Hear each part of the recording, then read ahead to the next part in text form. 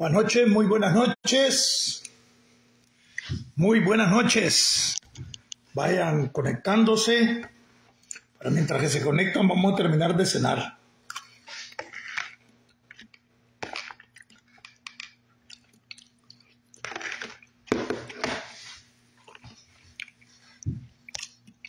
Conéctense. Ya estamos. Estamos, ya estamos, ya comenzamos. Para que se comiencen a conectar, pues.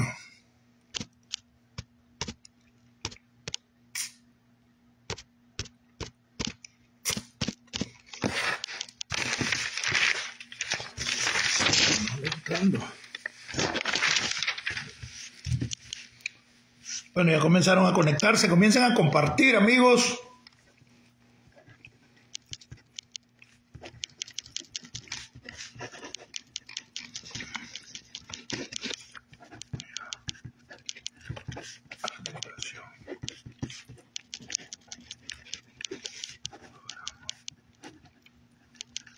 El gobierno. El gobierno.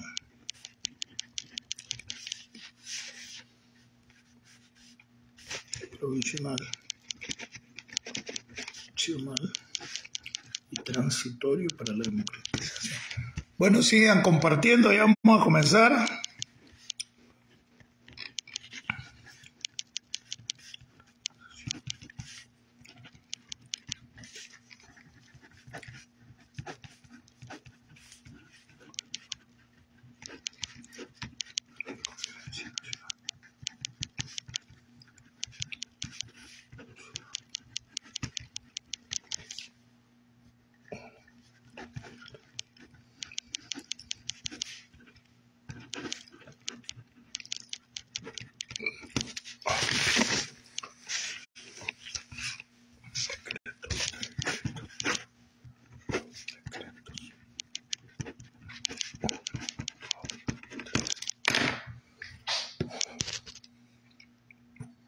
Buenas noches, muy buenas noches.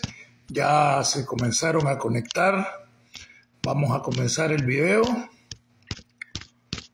Eh, vayan compartiendo con sus amigos, con sus compañeros, con sus familiares, con sus grupos, con sus otras redes sociales, con WhatsApp, YouTube. Hay unos que están publicando mis videos. Y yo no sé, pues, si estarán monetizados, pero gloria a Dios, pues, que con mis videos se ayudan, ¿verdad? Yo no sé mucho manejar la tecnología para monetizar mis redes. Todavía tengo problemas para subir videos a YouTube. Por ahí tengo un canalito loco, pero no he podido trabajarlo. No, tengo dificultades. Vamos a tener que pedir asesoría.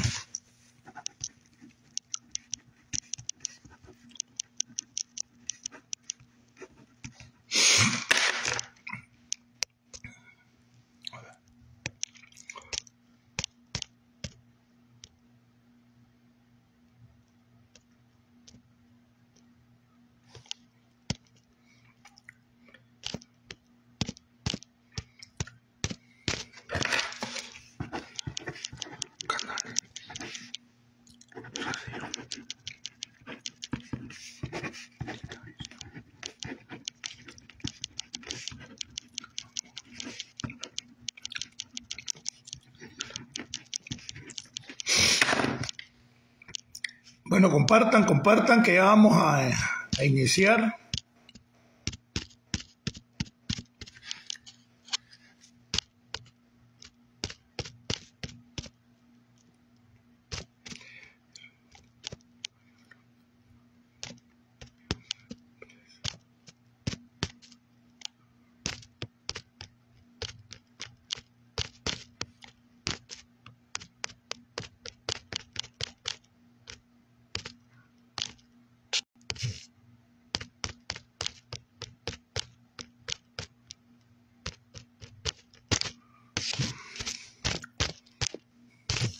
Bueno, muy buenas noches, muy buenas noches. Muy buenas noches, muy buenas noches. Muy buenas, buenos días y muy buenas tardes. Siempre, a que, que algunos agarren como burla creyendo que es mentira, nos escuchan en Asia y nos miran en Asia. Nos miran en Europa, en Alemania, miran en Suecia, nos miran en España. Y por lo menos que se reportan, ¿verdad? Hay gente que no se reporta porque viaja a Nicaragua. Pero de repente se me reportan de Villanueva, de Quilalí, de Jalapa, de Jinotega, de Condega un montón, de Managua otro montón. Y por supuesto que desde antes que cayéramos presos, nos reportábamos o se reportaban la mayor cantidad desde Estados Unidos.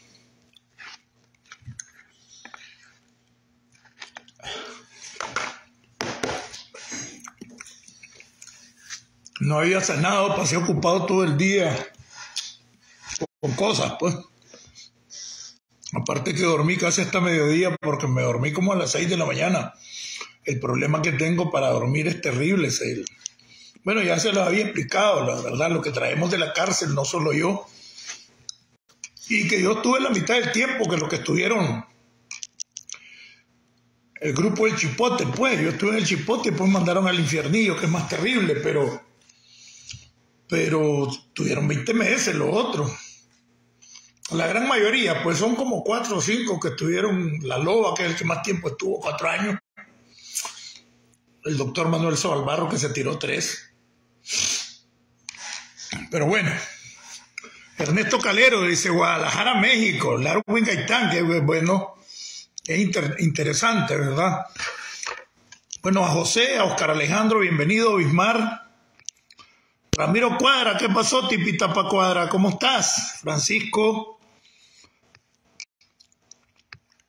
Wilmer. Bueno, ahí está la gente, pues. Bayardo, ¿qué pasó, Bayardo? Reino Olivas, Carmen Pomares, Pedro, Luis Fernando.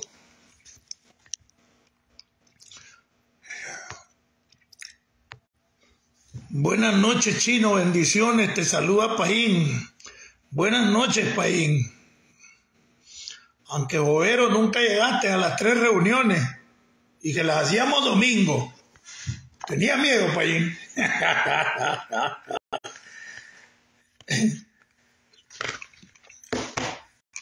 Para la mayoría que no lo sabe, Paín es un, viejo participante de mis videos del sandinismo histórico. Es un viejo combatiente histórico. Pero eh, le digo esto para algunos que no lo saben, porque yo cometí los peores sacrilegios para el danielismo y el chayismo. Lo que pasa que mucha gente en Estados Unidos no lo sabe, o otros lo escondían, porque por lo que yo manejé un discurso, ¿verdad?, donde ponía a Daniel como víctima de la Rosario, pero me permitió atacar tres años en fila a la Rosario sin que me echaran precio. Al final era la que estaba, era la cara pública al frente del gobierno y del partido. Daniel, como solo pasaba boludeando, encerrado en un cuarto, eh, pues era el bueno, pero era el bueno para nada, porque todos los clavos le caían a la Rosario, pero con la venia de él. Entonces yo hice o promoví y creé un organismo que se llamaba Unión Nicaragüense de Sandinistas Históricos, así era, ¿ah, Paín. Tuviste miedo del infierno. Ah, bueno, Paín, está bien.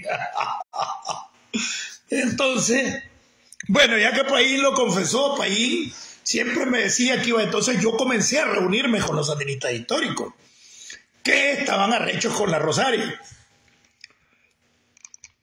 Entonces yo eh, creo que fueron cuatro reuniones, fueron. Lo que pasa que la primera, sí, cuatro reuniones fueron. Pero yo citaba, y cinco con una de ellas, dos para repartir camisetas, recuerden. Y tres que fueron ya las reuniones formales como unión, unidad creo era, ¿verdad? Unidad, Unidad de Sandinistas Históricos de Nicaragua, creo que así es que se llamaba, que le pusimos. Y en una de ellas llegó la Chabelita Romero, a una señora que tenemos muchos años de conocer, de las viejas luchadoras contra Somoza, que es la mamá de la pulga, Elvis Díaz Romero, un compañero que cayó allá en 79, antes de la insurrección, en una acción que falló. Entonces, esa vez recuerdo de que vamos a elegir la directiva del grupo y lógicamente unánima, de manera unánime pues me dijeron, pero ¿qué vamos a elegir si vos sos el que has hecho esto? Pues entonces, pero eh, con una un poco de, de, táctica política, porque yo propuse que hiciéramos de presidente honoraria de la organización a la Chabelita Romero, ¿verdad? Tenía 86 años, creo, en esos días. Y llegó, y llegó, y subió al último piso y por las gradas. Yo no podía subir por las gradas, pues. Subía por los ascensores por mi condición. Y elegimos eh, ese día, en la primera reunión ya seria, eh, como presidente honoraria del movimiento a la Chabelita Romero, de 86 años, una colaboradora clandestina del Frente, luchadora, fundadora del Ministerio del Interior, veinte y pico de años mayor que yo. Aquí está, Unidad de Sandinistas Históricos de Nicaragua, Carlos Fonseca Amador.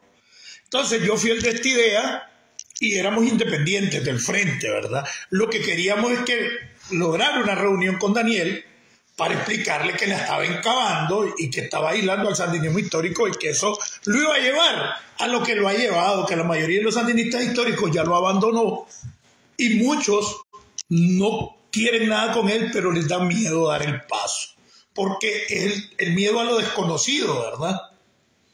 Hacer cuarenta y pico de años, en el caso mío casi 47 años de vida desde Somoza, en la lucha contra Somoza, hasta inicios del año pasado, que cuando me echaron preso. Es como de repente súper traumático hacer el cambio. A mí lo que me ayudó a adaptarme rapidito al cambio eh, en Estados Unidos, que no he sentido mucho, es primero que ya estaba convencido, segundo que ya me estaba enfrentando con ellos, tercero que me habían rodeado veinte y pico de policías en la casa y no me dejaron salir un mes hasta que me capturaron. Y por otro lado, la corrupción galopante que yo venía. Entonces propuse que creáramos una organización, pues la nuestra. Usted sabe lo que significa llamar al sandinismo histórico hacer una, una unidad independiente por tu cuenta, porque todo lo que se organiza es orientado por ellos.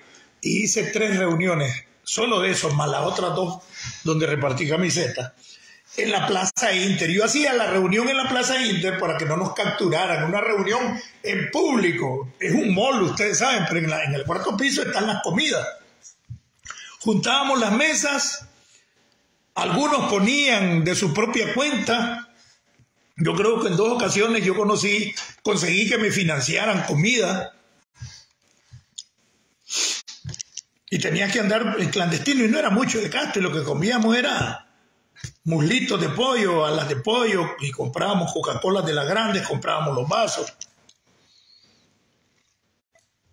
Y planteábamos en público y se filmaba. Y llegaban, eran más oficiales de policía, de civil, que el poco de viejos que llegaban a reunirse, pues, porque una vez nos reunimos 43, creo que fueron, ¿verdad? Pero vos sabés lo que es reunirse 43 a una reunión donde llamás de manera independiente al sandinismo histórico.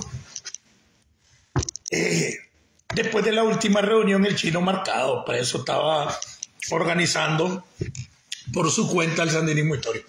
Tres reuniones ya como organización y dos reuniones donde repartimos las camisetas.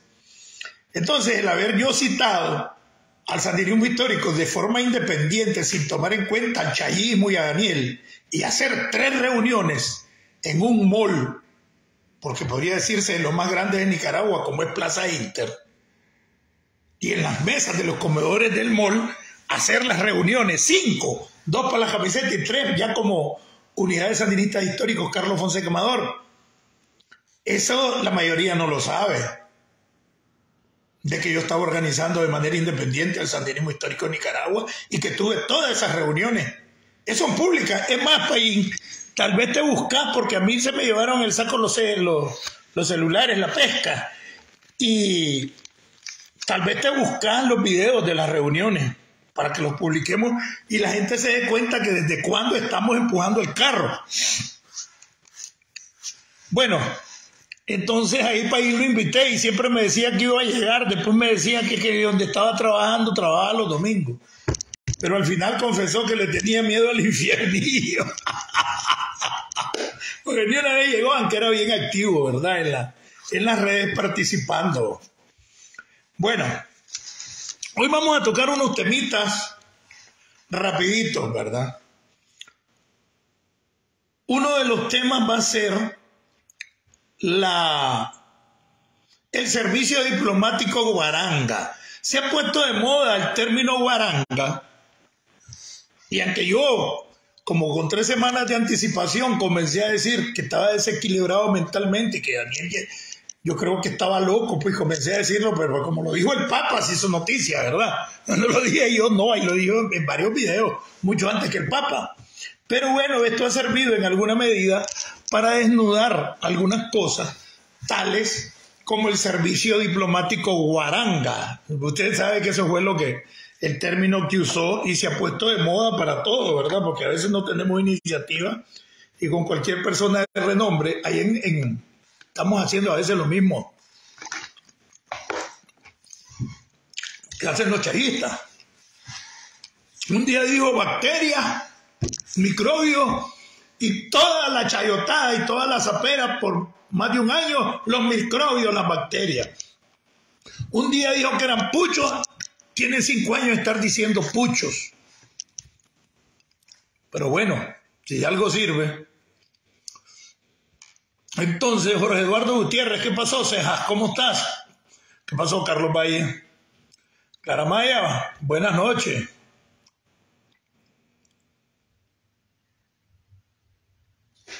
Fíjate que no me vas a creer. A veces como que leo la mente, ¿verdad? Clara. Espérate, vamos a buscar dónde es que lo puse.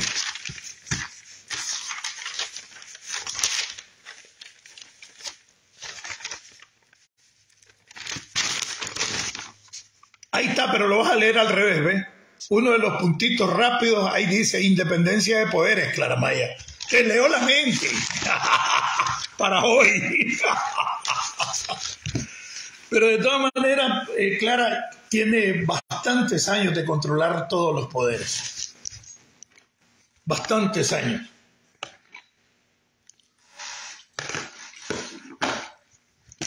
No es que logra, es que lo tiene controlado desde hace rato. Entonces, bueno, ya terminé de comer. Parecen vara, igual que el calor, el frío da hambre, reseca y deshidrata. Entonces, el servicio diplomático guaranga, ¿verdad? En el entendido, de acuerdo a la Real Académica Española, Real Academia Española, la famosa RAE, ultraconservadora y reaccionaria, porque es cierto. Dice que Guaranga es un ser maleducado, grosero, vulgar, mezquino, mañoso, sin gracia, o sea, desgraciado. Y yo le puse por mi cuenta chambón. Casi no se acuerdan de ese término, ¿verdad? Chambón. Antonia Garmendia, Taconde, un abrazo. Madiel, Kenia, Diana, Carlos Valle, Mario Amaya, ¿cómo está pastor? Él es el pastor de la iglesia que yo que yo visito. Oye, Pedro Arauz, ¿cómo está? ¿Cómo está Estelí? Imelda Osopardo, ¿qué pasó, primo? Roger Chavarría. Beta, su gentecita llegando hoy, Compartan. Oye, Harold Ramón, ¿qué pasó, Manuel Briones? Ray Ramírez, Isidro Madrigal, Santa Clara. Por ahí una prima que no puedo mencionar su nombre y que la mayoría de la gente no sabe en Condega que es mi prima. Vos, Morena, ya sabes quién sos. Sabes que hay varias morenas de Condega que están ahorita aquí, entonces no saben a cuál de ellas le dije. Saúl Enoch, ¿qué pasó? Luwin, Gerardo, oye.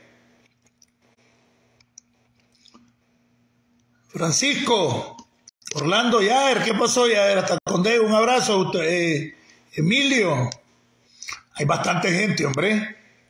¿Cuántos tienen conectados ustedes? Siempre vamos a estar con ese control. ¿Cómo está la imagen? Por lo que miro está bien. Eh, lógicamente yo no tengo un cuarto de estudio y la luz que tengo en, este, en, la, en la mesa de trabajo eh, es una es una lámpara de noche. Silvio Quesada, un abrazo. A ver, entonces ese es el, el patín, ¿verdad? Daniela Gil, ¿cómo está? Este, bueno, a veces se me va la onda de gente que no tengo que saludar, pero bueno, Silvio, Zenobia. Bueno, de todas maneras su nombre sale ahí. y el término guaranga, ¿verdad? Nosotros, yo le puse como título eh, a esa partecita el servicio diplomático guaranga de Mancha Brava de Daniel y la mala imagen para Nicaragua. Y el sonido está bien. Y el otro era, ahora entiendo, gracias a la Tiffany Robert, todo el mundo sabe quién es la Tiffany Robert. ¿Alguien no sabe quién es la Tiffany Robert? ¿Alguien no sabe? Talavera, bienvenido. Luis Sotomayor. Saludos Saúl Enoco, Dines Toruño. Este, bueno, la Tiffany Robert es la, corresponsal de Univisión. Por casualidad, leyendo un día, y hoy lo, confirmé porque eso fue antes de que yo cayera preso, yo, tuve problemas serios todavía, no puedo recordar algunas cosas. Alguien me dijo que no sabía que la huelga de hambre, pues la huelga de hambre para mi edad no está recomendada y para mí entonces me lancé una huelga de hambre desde el primer día que yo llegué al Chipote y, a todos los presos pueden preguntarle. Y fue fuerte y varios días, o sea, bastantes días. Y eh, me afectó la memoria. Llegó un momento en que no me acordaba el nombre de dos de mis hijos. No me acordaba de ningún corito evangélico para cantar. Cosas de ese tipo, pues o no me acordaba de tal o cual cosa. Comiencen a compartir, comiencen a compartir. Y no me acordaba esta parte de la Tiffany Robert, que se la voy a contar. Es un elemento importante, pero tampoco me acordaba que hacía como dos, tres años antes y hice un video donde le dediqué como 10 minutos a la Tiffany Robert no, como tres años antes, cuando yo todavía creía que Daniel era víctima de Rosario, donde atacaba yo a la Tiffany. Sí, hace más de tres años. Yo creo que la Tiffany yo ni la conozco. Pues. Y la conocí niña. Ahora, pues que me acuerdo, no niña, ya tendría como unos 20 años o tal vez más. Pero en una cosa de casualidad yo me encontré que la Tiffany Robin era hija de un Mulligan Y comencé a buscar, puta, la Yun, dije yo, ¿será la Yun? Si yo conozco la Yun Mulligan desde hace muchos años, porque era el círculo cerrado de Humberto Ortega. Es más, estuve en su casa. Si no me acuerdo de la primera entrada a Villa Fontana. Y si me está viendo la Tiffany la Yun, no me van a dejar mentir porque yo llegué a la casa de Lion Mulligan como tres veces. Yo era la seguridad, pero en, dentro de la contrainteligencia del ejército, de la CIN, de la contrainteligencia militar, había una sección que era como priorizada, que era la segunda sección. Esta segunda sección la dirigía el que llegó a ser inspector del ejército, el general, el mayor general, que es superior al, al general de brigada, Adolfo Cepeda, el cabezón. Él era el jefe de la segunda sección. Su primer grado me acuerdo que fue teniente. Bayardo Andino, que fue mi compañero en la guerrilla, hoy estamos distanciados. Ya entienden ustedes por qué, además, que ahora que estaba preso, vive aquí en Estados Unidos, llegó y hizo algunas acciones en mi casa por las cuales se perdieron los teléfonos de mi casa. Porque a mí no me habían capturado los teléfonos la policía. Entonces, desde entonces, jalea, pues. Incluso anduvo metiéndose en los cuartos sin permiso de mi esposa, jalando las puertas y esto, y mi esposa le tuvo que decir, vos no sos amigo de nadie, no, por favor no me volvás a visitar. A Bayardo Andino. Vive aquí, no sé, no sé, en uno de los estados de aquí, Bayardo Andino, Valenzuela. Entonces, Bayardo, eh, aparte que veníamos juntos de la guerrilla, habíamos sido bastante pipes, pues. El otro Bayardo, que era en realidad mi mejor amigo, vivía en mi casa, ya murió, que era Bayardo Hernández. Ellos cayeron presos juntos para cuando hicimos el ataque a en el febrero del 79. La cosa es, precisamente en la Fuerza Aérea se hicieron, es que la, la June, se escribe, June, Carlos, la Jung estuvo ahí, después estuvo en relaciones públicas, estuvo en la comandancia. La Jung era el círculo cerrado de la gente cómoda, que era un círculo de oficiales como Baldo Lacayo, como Joaquín Cuadra, venían de gente blanquita, ¿verdad? Rubia. Y entonces eh, yo llegué varias veces, pues, y Bayardo se había hecho muy amigo de ella. Entonces Bayardo me invitaba a que visitáramos a la casa de Layún ahí por Vía Fontana. Sí, Vía Fontana.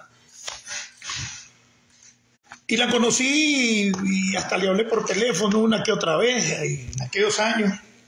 Después yo me fui para Alemania y cuando vine quedó desconectado de medio mundo, porque medio mundo se había retirado, otros se habían ido, otros habían tirado los fusiles y solo estaba un grupo de oficiales que fuimos los que, que nos retiramos en el peleo. Entonces la June Mulligan es la mamá de la Tiffany Robert. Entonces ahora comienzo a entender unas cosas que yo no entendía hasta hoy, hoy. Usted sabe que a mí me gusta historiar, me gusta estudiar, aparte de que la mayor parte de las cosas que platico son por experiencias propias. Porque a veces platicar lo que te dicen eh, te puede enredar, porque el otro te, te mintió y tenés que tener cuidado. O pudiste entender mal o escribió mal alguien. Entonces, hoy estaba viendo un video de hace tres semanas de un programa que tienen ahí que se llama el Bacanal Nica, en el que está Juan Carlos Ampiel, que el que hacía la parte satírica antes, ahora la hace Elmer, la parte satírica de, Confidencial, el, el, medio de Carlos Fernando Chamorro.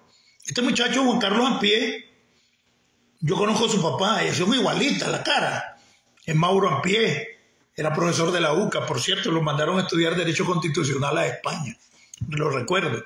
Pero bueno, entonces lo está entrevistando, hombre, voy a... Y dice, lo que no se sabía sobre el vuelo, y el primero, sobre el vuelo de la libertad, como le decimos nosotros, ¿verdad? El vuelo del 9 de enero. Y me llamó la atención el título, entonces me puse a leerlo. Y sucede que Tiffany Robert la hija de Lyon Mulligan, es la única periodista que supuestamente medio sabía lo que se estaba dando el día antes del vuelo. Pero le dijeron, nosotros salimos de, de Managua a las seis y media de la mañana, hora Nicaragua, siete y media hora Washington, era cuatro horas, por eso llegamos a las once y media, ahora Washington, aquí a Washington. Y a las diez y media hora Nicaragua, porque seis y media hora allá, ella le dijeron que podía tuitear lo que se dio hasta las 7 de la mañana. Es decir, cuando ya teníamos media hora de estar en el aire, de estar en, el vuelo, cuando veníamos de Nicaragua, los, los 222 presos políticos que nos liberaron. Pero comienza a contar una historia, espérate, le decía. Desde que la gente comienza ese día, a las 6 de la tarde, a las 6 de la tarde, en los distintos penales de donde estaban los presos eh, políticos, en los departamentos. Esto que les voy a decir, pónganle mente, pónganle mente porque ahorita estoy llegando a otro tipo de conclusiones. Ojalá que nadie se enoje, pero hay cosas que en esta vida no existen las casualidades y en lo político es difícil que existan las casualidades. Ya, póngale mente a lo que, le voy a, lo que estoy contando. Entonces, en, un programa que tiene un poquito de sátira y jodedera, que se llama Informe No Oficial, no sé cómo se llama, Noticia No Oficial, pero que es esa cuenta de Facebook que se llamaba Canal Dica, donde está otro muchacho que no recuerdo cómo se llama, y Juan Carlos Pie, el hijo de Mauro Pie, que es el que tenía la parte satírica de, de, Confidencial, ¿se acuerdan de ese muchacho? Y que ahora está él, no me acuerdo, haciendo esa parte, que es la parte que siempre hacen sátira. Bueno, la cosa es que están entrevistándola a ella y entonces le están diciendo hace tres semanas que platique cómo es que ella tuiteó a las 7 y 2 minutos de la mañana que los 222 presos políticos íbamos en el aire hacía media hora. ¿Cómo supo? Y era la única periodista que supo.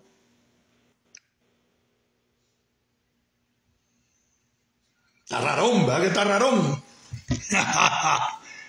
Porque todo se hizo en secreto. A las seis de la tarde sacaron los presos de todo el país, los que estaban en los departamentos, y comenzaron a llegar a las 9, 8 de la noche a la modelo. A nosotros, que estábamos en el infiernillo a 800 metros de la modelo, porque es el infiernillo, o sea, la 300, la división de máxima seguridad, es un penal aparte, dentro de ese mismo penal tiene su propio alcaide.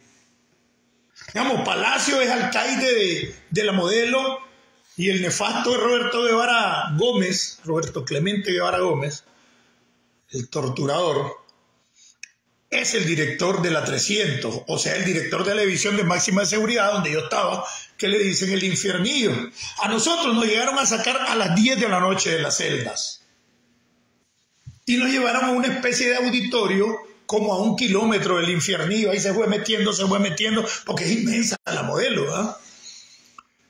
Ya cuando llegamos ahí, estaban un montón de presos vestidos de civil. Cuando nos sacaron de la celda, nos dieron ropa nueva a toditos.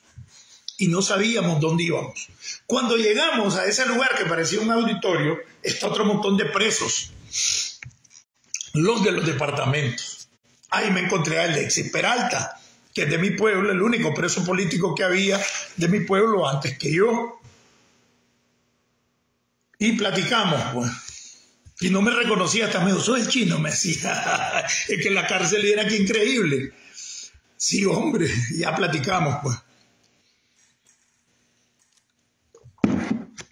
La cosa es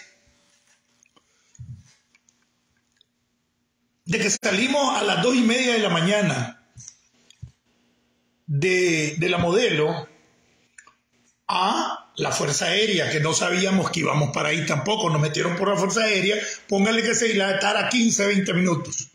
Estuvimos casi desde las 3 de la mañana hasta las casi las 5 de la mañana metidos en los buses.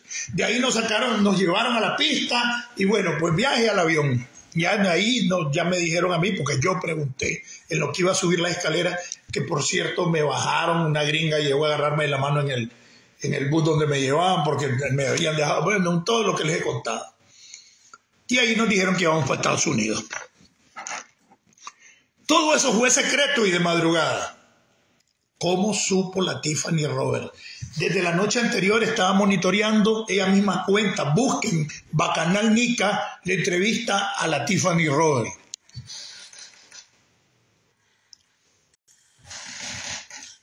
Y estoy leyendo y, comienzo a ver que hay cosas que no son casualidades. No me digas quién me dijo, no me digas quién me dijo, que es un familiar. O sea, que ella sabe desde la noche anterior que se está cocinando algo grueso. Pero además, dice, también me doy cuenta que de noche citan para la mañana siguiente a todos los diputados de la Asamblea. Y un alto funcionario supuestamente o alguien ligado ahí le decía, pero no publiques, publica hasta las 7 de la mañana. Ya el, al siguiente día, bueno, ya en la madrugada, horas después, le dicen, está en el aeropuerto. Y ella llama a una familiar de un preso o familiar de ella, que es la única que no va a decir nada hasta que publique y le dice, están en el aeropuerto. ¿Cómo sabía todo? Y es la única periodista que aparece y es la que tuitea a las 7 y 2 minutos. Entonces comienzo a leer y comienzo a ver más allá de eso. Ahora que Humberto, porque hay medios de comunicación que lo están convirtiendo en noticia, a Humberto, aunque la mayoría estamos diciendo que Humberto es un malvado, que es más malvado que Daniel incluso, más mocuánico que Daniel, más tétrico que Daniel y más desalmado y descarnado que Daniel.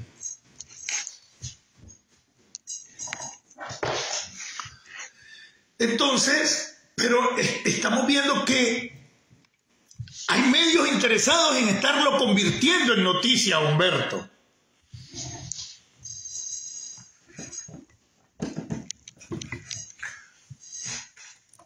Espérenme.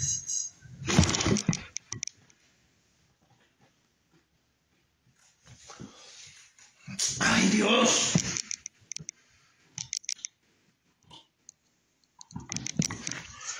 Permítanme un round.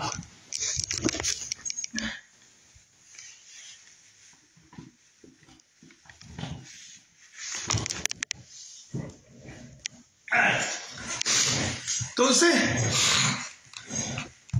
ahora caigo a la cuenta. Ojalá que esté equivocado en relación a Tiffany. Pues.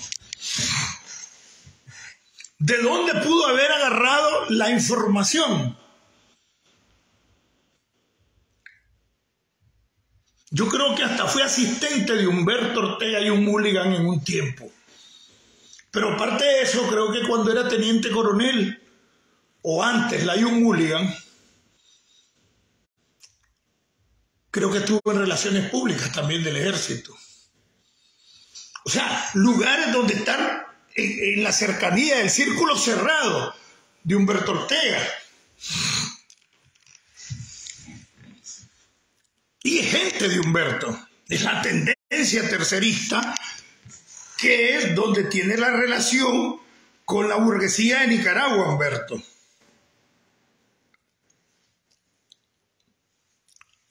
Entonces, ¿de dónde pudo haber agarrado la noticia de que se estaba dando todo un proceso desde la noche anterior.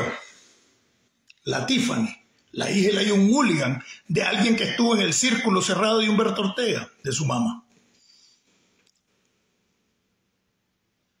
Que estaba informándose y sueriándose porque está ligada por la historia a Humberto. Y si está ligada a Humberto, está ligada a la gente que maneja el poder en Nicaragua. No hay de otra. Ah, yo no le estoy diciendo de que ella es del... Porque ella es periodista, él, a lo que le interesa es la noticia. Pero la lógica te lleva ahí y la lógica te lleva a también a darte cuenta por qué hay medios de comunicación en promover a Humberto como noticia. Porque están promoviendo a Humberto como noticia, lo están poniendo en la palestra. Y, si, y aunque nosotros le volvemos penca, de todas maneras es propaganda, ya les he dicho, propaganda buena, o propaganda mala es propaganda. Porque al que más propaganda mala le hacen, al que más atacan, es el que está en la palestra pública. Porque lo importante en la politiquería es mantenerte en la palestra pública. Cuando dejan hablar del político, del sujeto político, gracias Mania, el político está perdiendo rating. Y el rating no solo es porque hablen bien de vos. El rating es porque son de las noticias más escuchadas, lo más visto. Y el rating del programa, el rating de la persona.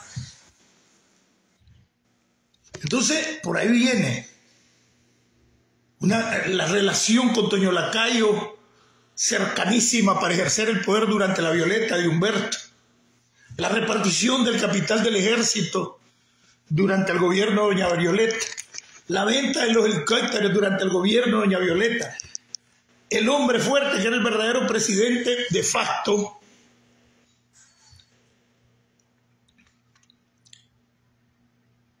Exacto, Carlos Valle.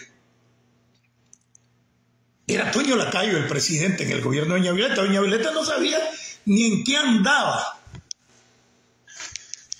Imagínense que hasta le hicieron un chiste a doña Violeta, me acuerdo, porque ella solo hablaba tonterías y nada, no sabía nada de gobernar, solo es porque fue la esposa de Pedro Joaquín. Así de sencillo. Pero el que mandaba, el presidente en la realidad, era Antonio Lacalle. ¿Y quién era la primera dama? La cristiana Chamorro.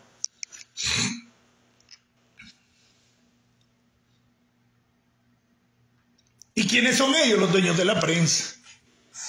Y ellos son los que comenzaron a propagandizar ahorita a Humberto. Estoy diciendo esto porque es un grupito chiquito de viejos que no tienen ninguna incidencia en el país. Aquí la unidad. ¿Por qué? Porque hay que, hay que ir claro de que aquí, si bien nos vamos a unir todos, que aquí no vengan a ocupar espacios los que no les costó nada. Así de fresco.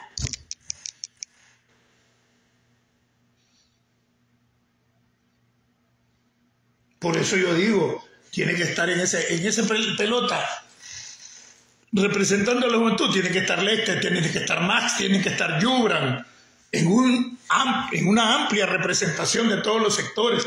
No puede faltar Pedro Mena y Medardo.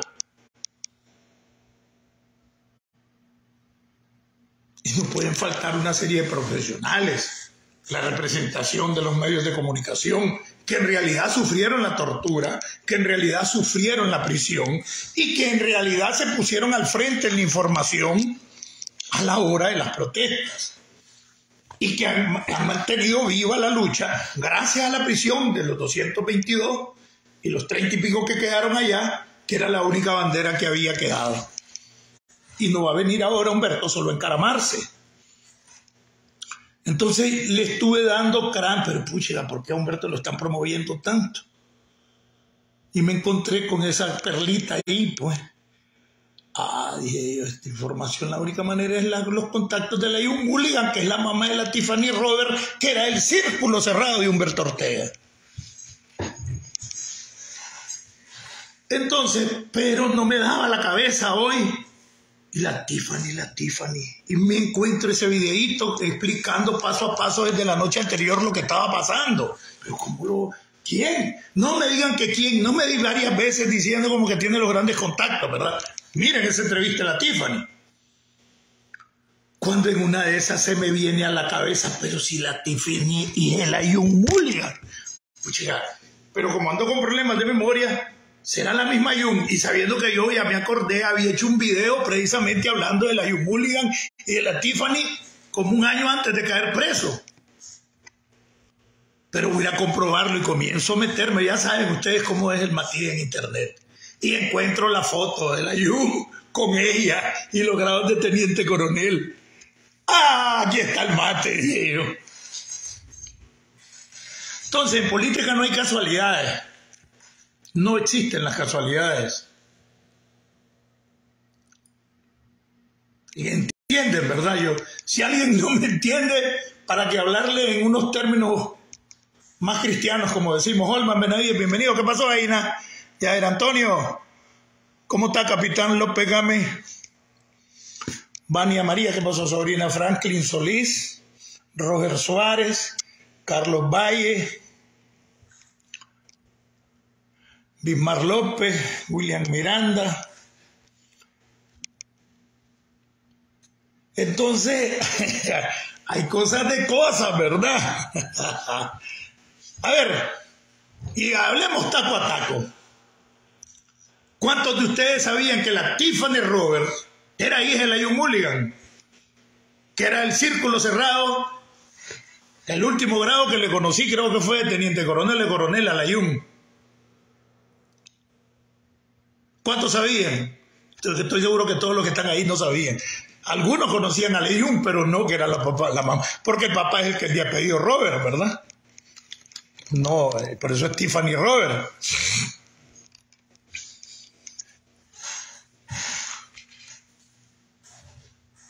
A la Sandra. La Sandra vive bien informada. Saludo árabe. Es el seudónimo, la Sandra, me la árabe. Eh, entonces, hay sus cosas en esto y por eso uno tiene que andar viendo y pichando de lado. Ustedes saben lo que es pichar de frente, ¿verdad? ¿Saben lo que es pichar de frente?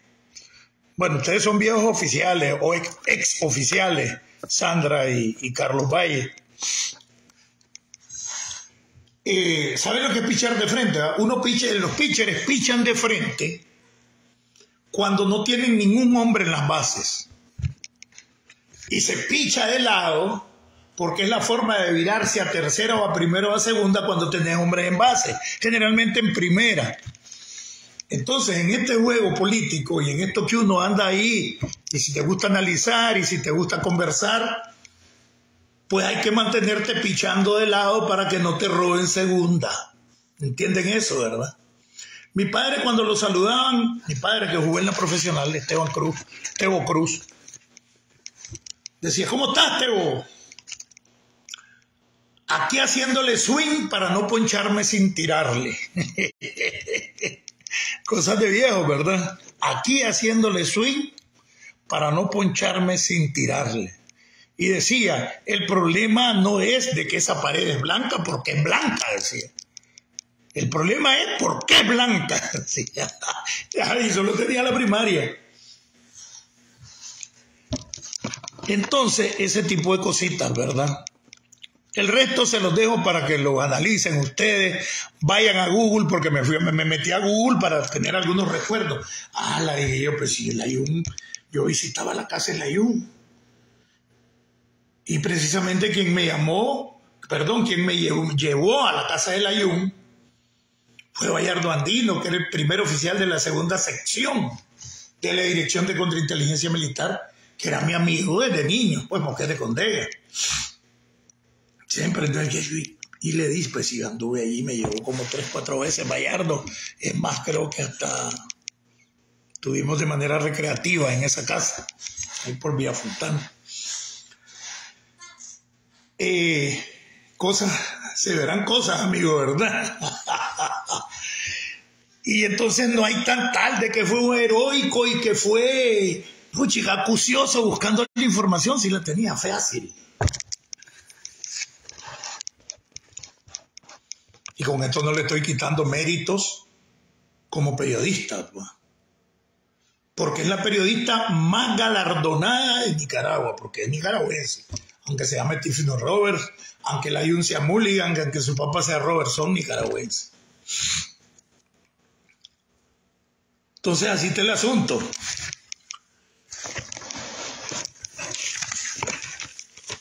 Este papa Este papa, Bergoglio, Alberto Bergoglio creo que es verdad, que se llama Francisco, todas estas copias del Vaticano no son pura casualidad, oyeron. Pues sí, en el Vaticano hubo andidencia por años, se mataron a Juan Pablo I, el caso del Banco Ambrosiano, el Banco Vaticano, hay sus cosas ahí detrás. Pero es evidente que la iglesia ha avanzado a pasos agigantados a la iglesia de los 70, ya no digamos de los 60, de los 50, que eso era todavía a inicios de los 60 las misas se daban en latín en Nicaragua.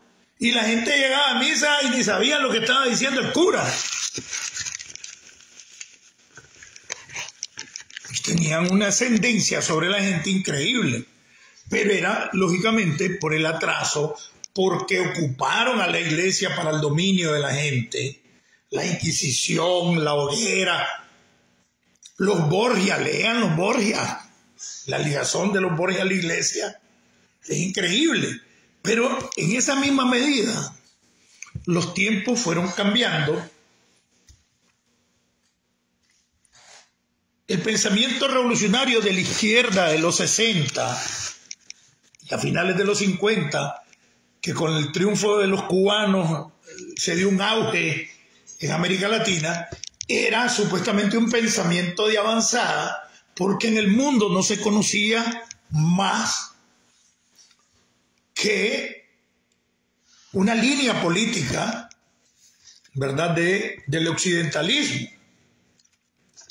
y fue un pensamiento de avanzada, pero el pensamiento de avanzada de la izquierda llegó hasta 1990. Y no hablo solo de la izquierda de Nicaragua, hablo de la izquierda en general. El pensamiento de la izquierda clásica, Cuba, los que estaban al otro lado de la cortina de hierro, los movimientos guerrilleros, se quedaron entre 1980 y 1990 en un proceso antinatural en que no siguieron, saludos Javier mi Rivera, no siguieron evolucionando. Y la socialdemocracia, la izquierda democrática, el capitalismo, siguió avanzando tecnológicamente, pero también fue transformando su pensamiento y su actuación.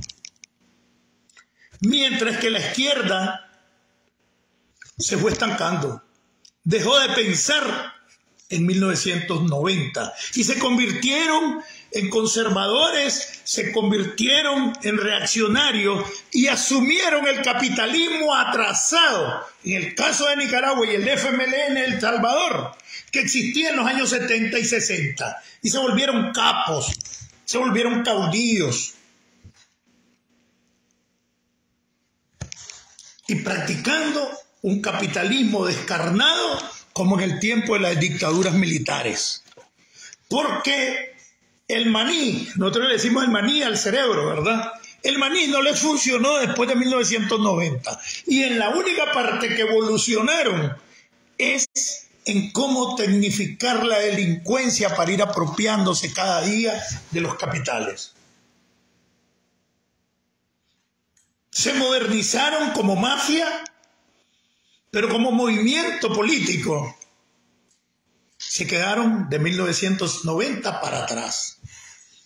Es así que el occidentalismo asume como propio los derechos humanos, las libertades políticas, las libertades de movilización, porque nosotros peleamos esas libertades contra Somoza, y las violentamos en los 80 también, recuerden Nanda y me va. Y hablo nosotros, aunque yo no estaba ahí en, la línea, ¿verdad? Donde se reprimió a Nanda y me va. ¿Se acuerdan a Nanda y me va en los 80? Cuando cayó presa la niña Miriam. Pero era parte de ese sistema. Y no encontramos, en general, vamos a hablar taco a taco, pues, como un montón que andan aquí que pertenecieron al sandinismo. Una manera de cómo darle respuesta por qué iba creciendo ese sentimiento antisandinista. Y no solo era por los contras y los campesinos, No, en las ciudades también. Y no era tanto el servicio militar al inicio, sino el abuso, la falta de libertades, el, el cercenamiento al derecho a pensar por sí mismo. Tenías que pensar como manada. Lo que pensaba el líder, eso tenía que pensar todo el mundo. No, no tenía derecho a discernir. Y aunque los estatutos dijeran tal o cual cosa, siempre los estatutos fueron papel mojado. Para mí, los mejores estatutos que hay de un partido de Nicaragua, incluyendo a los movimientos que existen actualmente, son los del frente. Vayan, mírenlo, son los estatutos más democráticos que existen, pero jamás se practicó. Todo eso estaba en el papel. Y se quedaron en, de 1990 para atrás, con un pensamiento arcaico, con una posición política de revolucionarios monárquicos, porque como que el feudalismo no pasó.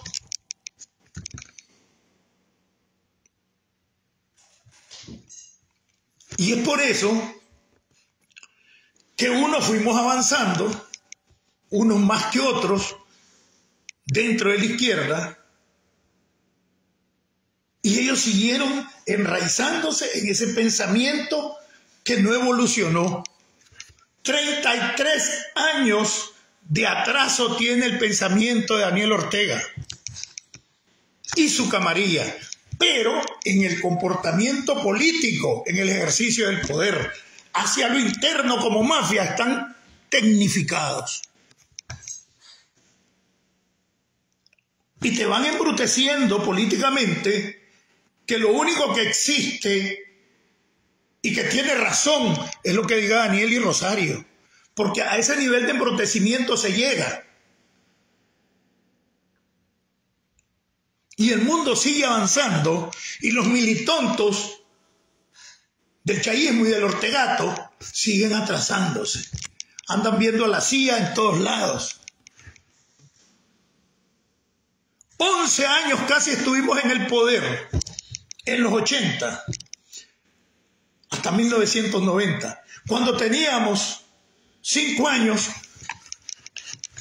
y cualquier atraso culpa del somocismo.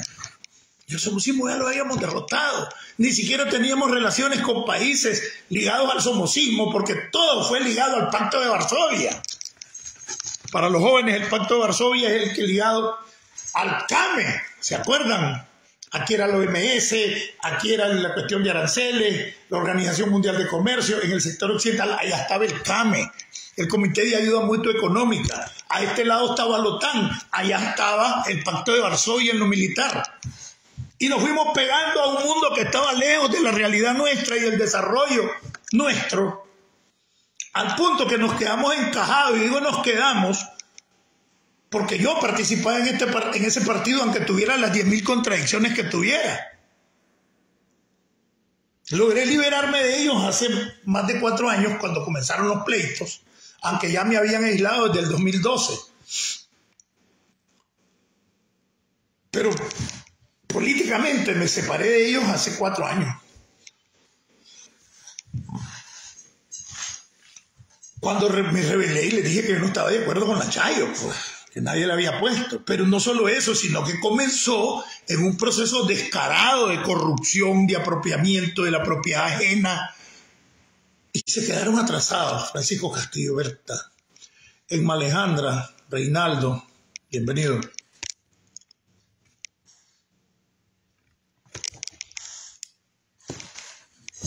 Y es así el, que un dron es delito, un dron. Todos los países, los periodistas en el mundo tienen drones. Allá te echan preso por un dron.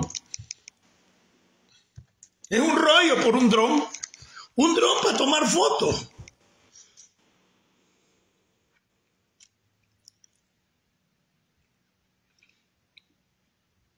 Ah, que puede pasar sobre el Estado Mayor encima un dron. Si vos solo te subías al último piso de lo que fue el Intercontinental, la pirámide, después hoy Creo Plaza, y miras todo para adentro, en el ejército. Te subís al museo, que está en la loma de Tizcapa, y miras todo para adentro. Ah, con un dron, pura vara. Pero es que eso permite los drones eh, fotos y esto y mejor información para la gente. Y a ellos no les interesa que la gente esté informada. Todo eso, eso es para mantener alejado de la información a la gente. Exacto, derechos civiles, libertad, democracia. Entonces uno logramos despegarnos desde hace varios años, porque todos los que me conocen me decían que yo era libretero. Bueno, sí, era medio libretero, pues en los 80, pero para la vagancia. Pero que, que era libretero, que me... ¿Cómo es cuando te salís de la línea? desembocado, una cosa así, no sé. Porque siempre estaba opinando, siempre denunciaba las cosas en las propias asambleas. No la estelí desde antes, yo me le paré al alcalde en el 2012, en, la, en una asamblea de todo el municipio. Y que me diga mentiras a mí, este, ahí está Jairo Arce, pues, porque públicamente yo sé que me mira, me metió un, me metió el, un perfil ahí con el nombre de la esposa y se lo acepté porque yo sabía que era él, porque es que la esposa no le interesa verme. la profesora, ¿para qué? Pues ella no anda en política ni cosas parecidas, es maestra. Yo sé que es él. Pero que me diga que es mentira, cuando no le quise firmar que me, que me había hecho el proyecto de mi barrio porque yo era el dirigente y había cinco calles que no me la había hecho y aparecía ejecutado el proyecto y quería que se lo firmara porque era el coordinador del barrio como recibido el proyecto y no se lo firmé y lo dije públicamente en una asamblea que por qué. Y me salieron con un cuento chocho, que no habían tomado en cuenta unos vados donde pasa el agua de lado a lado, seis metros de calle, y te ibas a, peinar todos los adoquines, todo el cemento, todo por un vado en cada cuadra. Entonces no lo firmé, de 2002.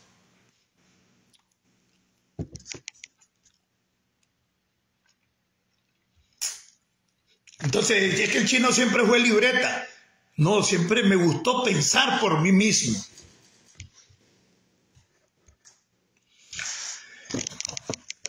Y en los 80, el enfrentamiento de la revolución era frontal. Era contra hijos de tal, era gringos hijos de tal, y ella nosotros, y el cuento del heroísmo, y, la tendalá de muertos todos los días, de uno y otro lado. Llegamos a los 90 y la batuta la llevamos los mismos sandinistas históricos que pasamos a estudiar a las universidades y a dirigir el 6%, y otro sector a dirigir el transporte. Y trancábamos el país. Ah, no, pero son eran tranques. ¿Se acuerdan cuando trancábamos el país? Pero lo único que en aquel tiempo no decían tranque, eran azonadas. Pero trancamos el país meses. ¿O no se acuerdan? Y varias veces. Es más, yo dirigí la trancada de Condega. Ahí están las fotos. En las elecciones municipales del 2000, porque yo era el representante legal del frente ante el Consejo Electoral del municipio. Soy el que oí las entrevistas incluso. En el tranque que pusimos y trancamos Condega. Porque se dio un caso ahí que querían robarse Condega porque la Rosa Marina Celaya en ese tiempo estaba así, no sabía con quién estaba, pero ellos también habían perdido el crucero y Condega todo el tiempo se ganó el frente. Pero el crucero que lo acaban de hacer municipio lo, prácticamente lo había perdido Arnoldo y era su municipio, donde tiene su finca. Y que me diga que mentira que el arnoldismo negoció con el frente, te dejo Condega y déjame el crucero. Así fue.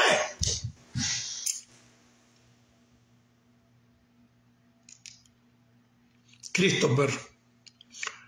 Pero bueno, ya me salí un poco. Entonces, eh, si vos ves, pasaste del poder a la oposición con métodos de lucha de los 70, la manifestación sin desarrollo político de la dirigencia superior, intermedia y de base, y muchos de nuestros compañeros, nosotros porque estábamos en la universidad estudiando, se quedaron patinando. Yo recuerdo a alguien que le dicen Carevala, ahí vive en León. Andaba bien loco en un 19 de julio, allá como en el 98, 97, y me estaba hablando de la intervención norteamericana que había que prepararse militarmente, así de encajado, en el 97. Carevala. Carevala era el grupo de Charrasca, el famoso Charrasca de León. Se han encajado, combatientes históricos, alcohólicos, que andan y andan, porque muchos quedaron en la miseria y se hicieron alcohólicos, drogos, y andaban hasta casi indigentes, hablando de la intervención norteamericana en el 97.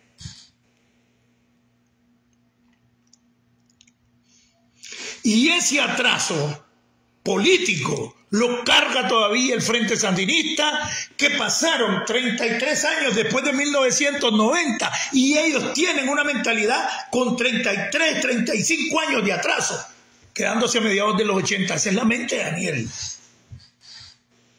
No, ha evolucionado el mundo. Y por eso yo le digo al sandinismo, prepárense, estudien, se informen, miren que estos cabrones son ladrones, miren que están millonarios. Porque ellos no es que estén atrasados políticamente, es que manipulan el atraso al que han sumido a su militancia por décadas. No sé, Laura, no recuerdo, pero anduve en insurrección con Charrasca. Era oficial de operaciones de la seguridad del Estado, era interrogador, pues. Es de León. Tiene careloco, por cierto. Por el gorgo, pero le dicen careval. No sé si está vivo, porque yo lo vi antes del 2000, la última vez. Y se quedaron patinando en seco. Yo por eso mismo vivo mencionando lo que dice Mohamed Ali, lo que decía. Que si él estuviera pensando como pensaba hace 40 años, él vivió 40 años de balde, él perdió 40 años de su vida porque no avanzó en nada. Y así se quedaron pensando en los 80. Y que no me digan que no.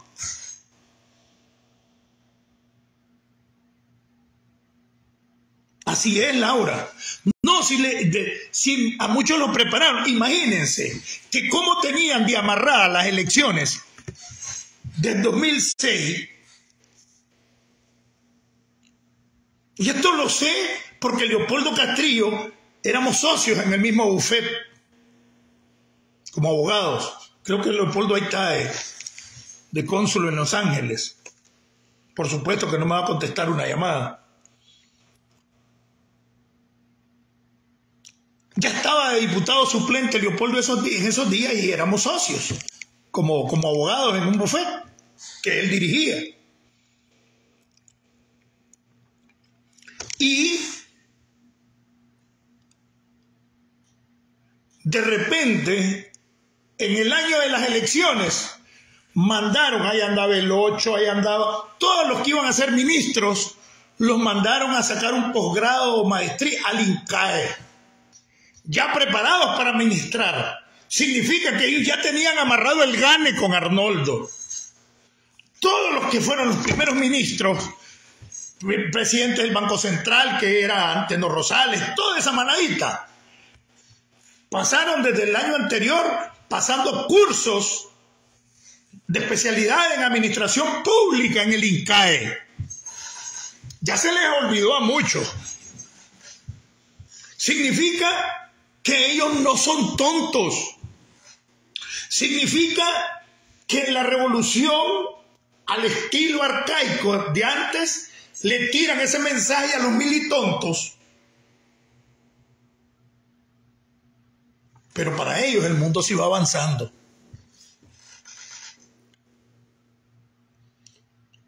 Y conmigo hablaban, por eso yo les digo, ellos me consideraban, no me tomaban en cuenta, pero tampoco me, me quitaban la palabra, pues. Y si les pedía a veces que me atendieran por algún caso que yo llevaba, pues me atendían.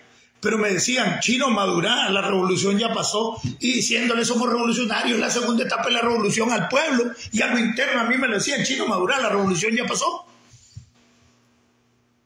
Porque consideraban de que yo pues tenía un pensamiento un poquito más avanzado que la mayoría. Así como lo oyen. Y así piensan. Hacen cualquier cosa por un millón de dólares a veces por cinco mil. Te lo seguro, lo conozco. Entonces, para arriba no es que se atrasaron. Ellos se fueron haciendo maestría para ocupar los cargos aquí, para ocupar los cargos allá. Pasan cursos entre ellos, mandan a preparar a alguien al exterior y ese exterior lo multiplica. Para abajo, ese es un 1% del Frente Sandinista. Al otro 99% lo manipulan como baboso con una política de antiimperialismo, con una política de antiintervencionismo, de soberanía y patriotismo para mantenerlos como pendejos y como ignorantes. Porque cuando se meten a una conversación con alguien que tiene un poquito de seso, sea del mismo frente sandinista o no sean sandinistas, dan pena porque andan lejos del mundo. Y ahí es donde vos te encontrás un montón de sandinistas con ridiculeces que no se ubican en que ya está terminando el primer cuarto del siglo XXI y están en la mitad del último cuarto del siglo XX. Esa es la verdad. Fulvio Fuentes, bienvenido, Ilenia Peralta, Mauro Cruz Centeno. Entonces tenés una izquierda atrasada Y generalmente se dio donde hubo movimientos armados fuertes. Yo ya me gradué de 36 años y voy a cumplir 63 en la universidad porque no daba tiempo, estábamos en la guerra, era militar. Pero la mayoría no estudió ni después que se retiró. Yo entré de 30 años en la universidad, 31. La mayoría no, no estudió ni se preocupó. A eso yo le doy gracias a Dios, a que soy hijo de una docente que siempre nos enseñó a estudiar, mi madre. Tengo un hermano pedagogo, tengo, a todos nos ha gustado estudiar.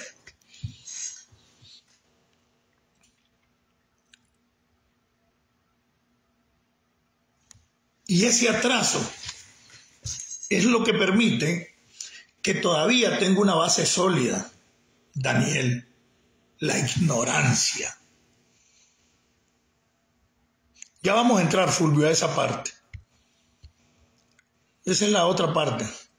Entonces entienden el por qué, decimos por qué, pero ¿por qué estos sandinistas? Porque están caballos, hombre, están atrasados, están engañados y están estancados y la mente no ha evolucionado después de 1990.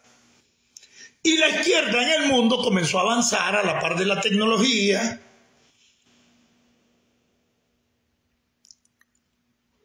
El imperialismo que atacamos todos aquellos años resultó que avanzó en derechos humanos, es una de las herramientas principales de su política interior y exterior en Estados Unidos, los derechos humanos, al punto que aquí vino Lula en los días que acabamos de venir nosotros de Nicaragua y creó un Ministerio de Derechos Humanos.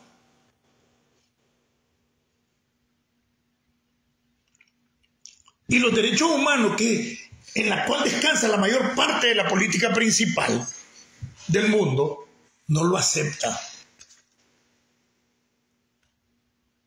Pero si nosotros antes queríamos libertad de movilización en los 70, libertad de organización, libertades políticas que no teníamos con Somoza, y se llega a hacer lo mismo en pleno siglo XXI, finalizando la primera cuarta parte del siglo XXI,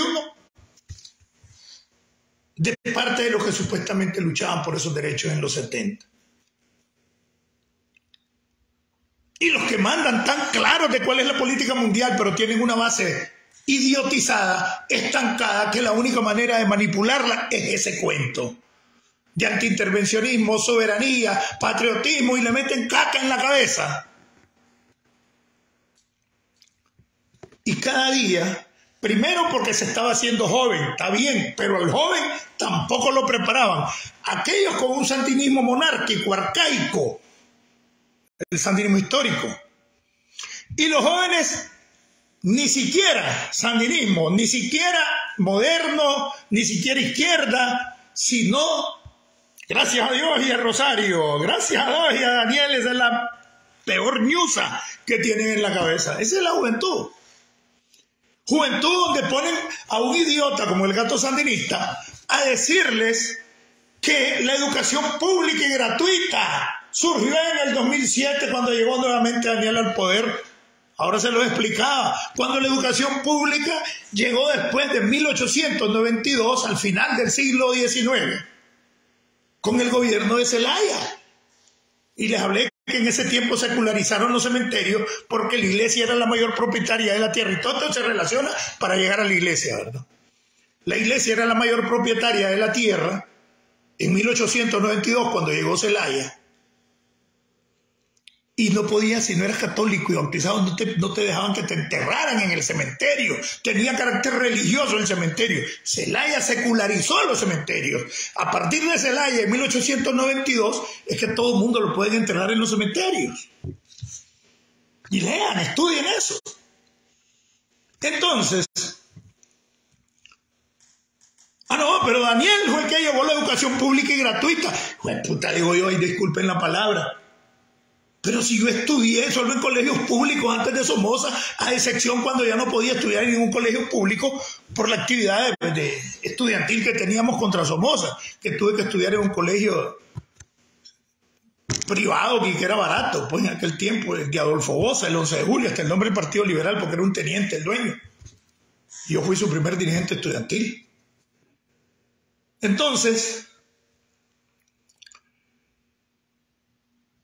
Y esa es la paja que le enseñan. La merienda escolar. Por primera vez se le da a los niños merienda escolar.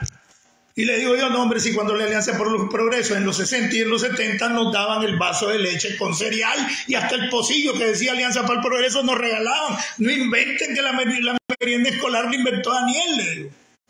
Y se ponen malos, que eso es. No, eso no es eso es historia real.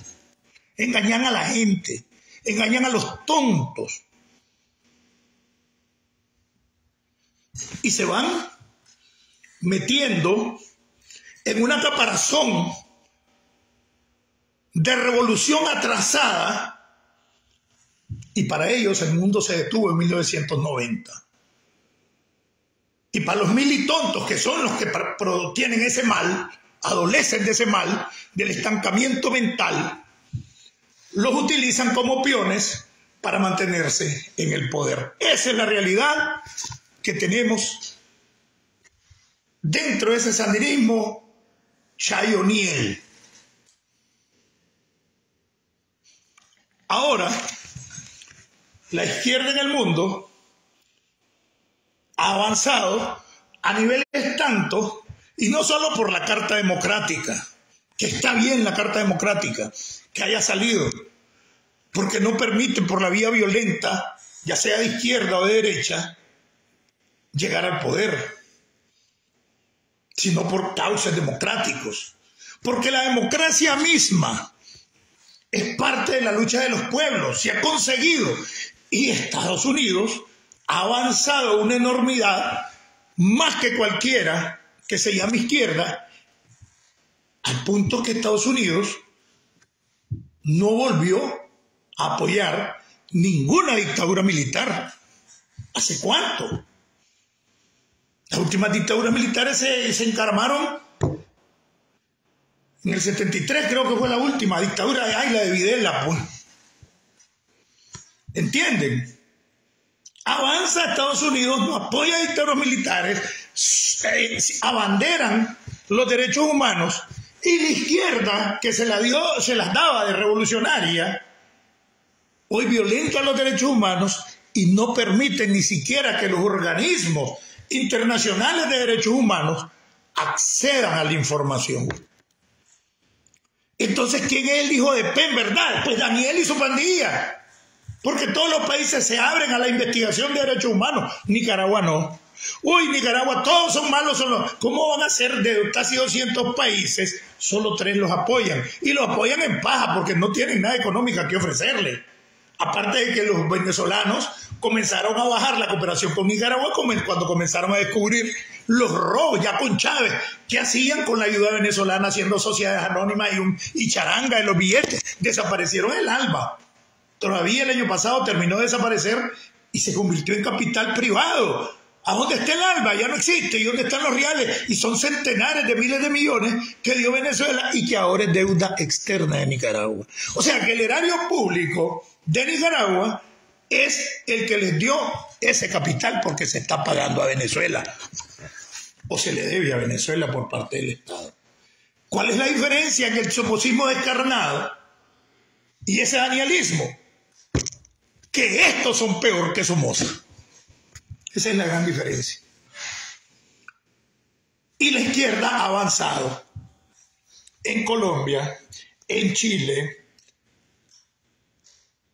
en Argentina, el mismo Aló, que es el que es un poquito más así, también ya le dio la espalda en el sentido de, de, muchas cosas, porque no se puede aislar. Ah, no, se sigue aislando y ahora, como lo decía en la mañana, hice un, recuento y un historial de los locos de mi, de pueblo y de los de Estelí. La Paula loca fue la que se me olvidó de Estelí. Dice que como todos los locos se ponen enojados. Vos le decís loco a un loco que agarra pedrada, si le decís loco. Y tal vez no entiende nada, pero te pone malo si le decís loco. Decirle loco a un loco. Te golpea, te agarra pedrada, te persigue. Porque está loco y le molesta. Entonces, Daniel está loco. Claro que está loco y lo vengo diciendo desde que comencé estos videos aquí en Estados Unidos, que Daniel está descachimbado mental. Pero como ahora lo dijo el Papa, es noticia porque es el Papa, pues bienvenido sea. No estoy molesto por eso. Si a mí lo interesante es salir de esta, de esa lacra. Y les decía que el Papa ni siquiera dijo quién era el loco, dijo que eh, suavemente, políticamente, ahí estaba alguien reclamando que el Papa debió haber dicho, bueno, eh, no, hombre, eso se llama diplomacia. Es un Estado. Pero aparte de que un Estado, es la Iglesia. Tiene que tener determinadas normas de comportamiento. Y por otro lado, existe la Convención de, de Viena para normar ese tipo de relaciones, que son diplomáticas. Y entonces dijo muy suavemente que lo que notaba era un desequilibrio en la persona que dirigía. No dijo ni Daniel ni Rosario. Para Nicaragua, para los militontos, que a mí me pasó, Daniel es el bueno y la Rosario es la mala porque es la que dirige, mentira. Ya lo, ya lo demostramos con lo que dijo Daniel, que el peso que tiene Rosario y el poder que tiene Rosario es el que le da a Daniel, el que le permite Daniel, o sea, que lee el men. Entonces, miren lo que hacen. Siempre siguen jugando al bueno y el malo. Se enoja Daniel, pero sale la Cancillería. La Cancillería no le se va a pegar un libretazo con Daniel hablando de la suspensión de las relaciones con el Vaticano, porque le dijo que estaba loco. Está loco, se encachipó porque le dijeron que estaba loco. Igual que cualquier loco, de los locos de mi pueblo, yo se los mencioné, Anduriña, Salomón de la Hucha, Don Lecho, decirles loco, que agarra pedrada. Los locos se enojan cuando les decís loco, es mentira. Los locos del pueblo, esos que andan en la calle, caray, la decirles loco, decirles loco. Pues Daniel está loco. No lo mencionó con él, dijo el Papa, un desequilibrio, lógicamente que mental, ¿verdad? En la persona que dirige. Se arrechó el hombre y se puso lo peor que le puedes decir a un loco, decirle loco. Y mandó a romper relaciones con el Vaticano. ¿Será bruto? Cuando el 40% de la población nicaragüense católica. porque creo que es 1 o 2% el que los pasó ya los, los evangélicos en cantidad.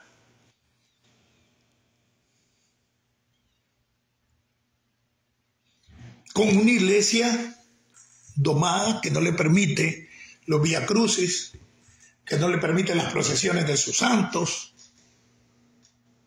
y está confiscando nuevamente. No está con una mentalidad trazada, mientras la iglesia ha avanzado. A decir el Papa, hace poquito lo dijo, creo que el mismo día, y que van a revisar el celibato para que se puedan casar los curas y para que no se anden escondiendo ahí los pedófilos. Cuando se ha pronunciado varias veces el respeto por los que tienen otras opciones sexuales.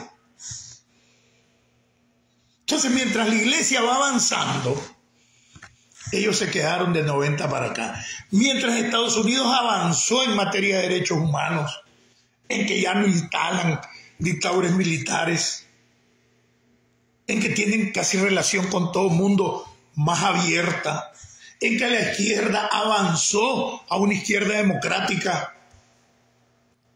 en América Latina, en que ningún movimiento de izquierda está apoyando a Daniel, en el que el movimiento de la solidaridad internacional de la izquierda revolucionaria o democrática tenía un comité y hasta cuatro comités de solidaridad en cuatro países solidarios con revolución y con el Frente Sandinista en aquellos años.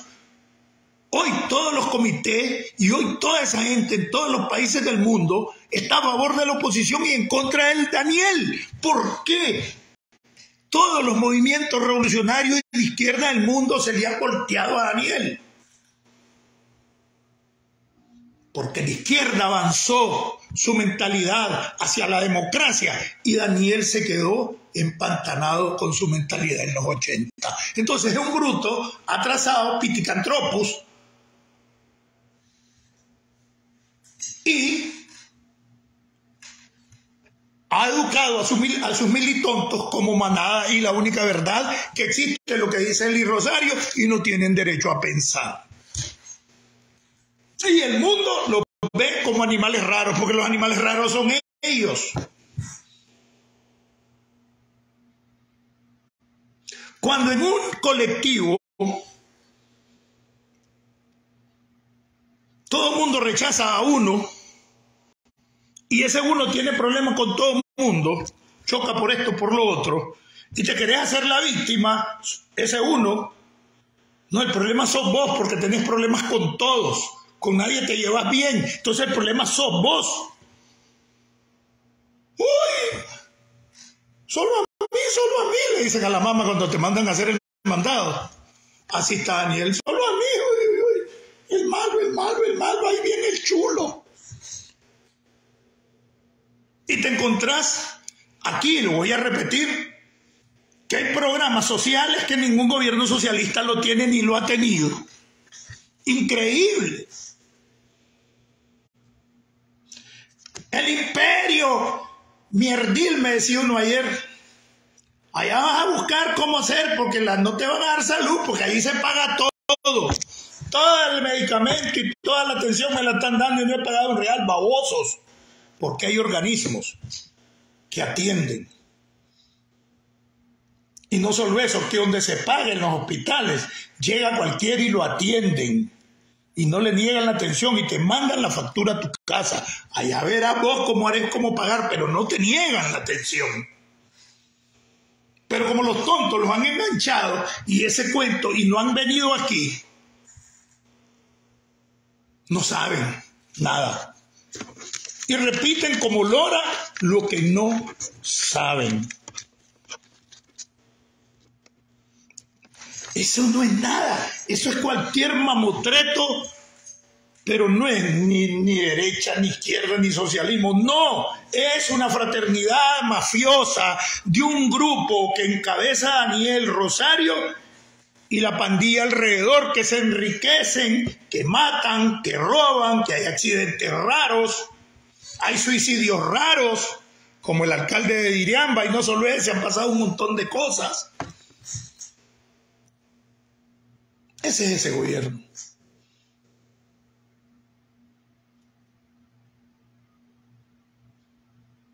Y esa es la política diplomática que tienen de guarangas.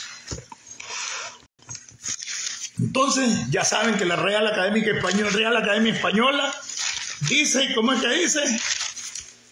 Que guaranga es alguien que es maleducado, vulgar, hayán, grosero, y esa es la, esa es la diplomacia que tienen. Esa es la diplomacia que tienen.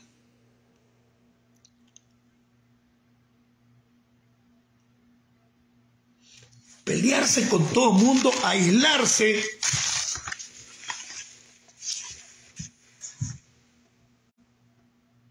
Y cada día más solo, cada día la gente tratando de salir y ahora ya no les basta de la oposición clásica.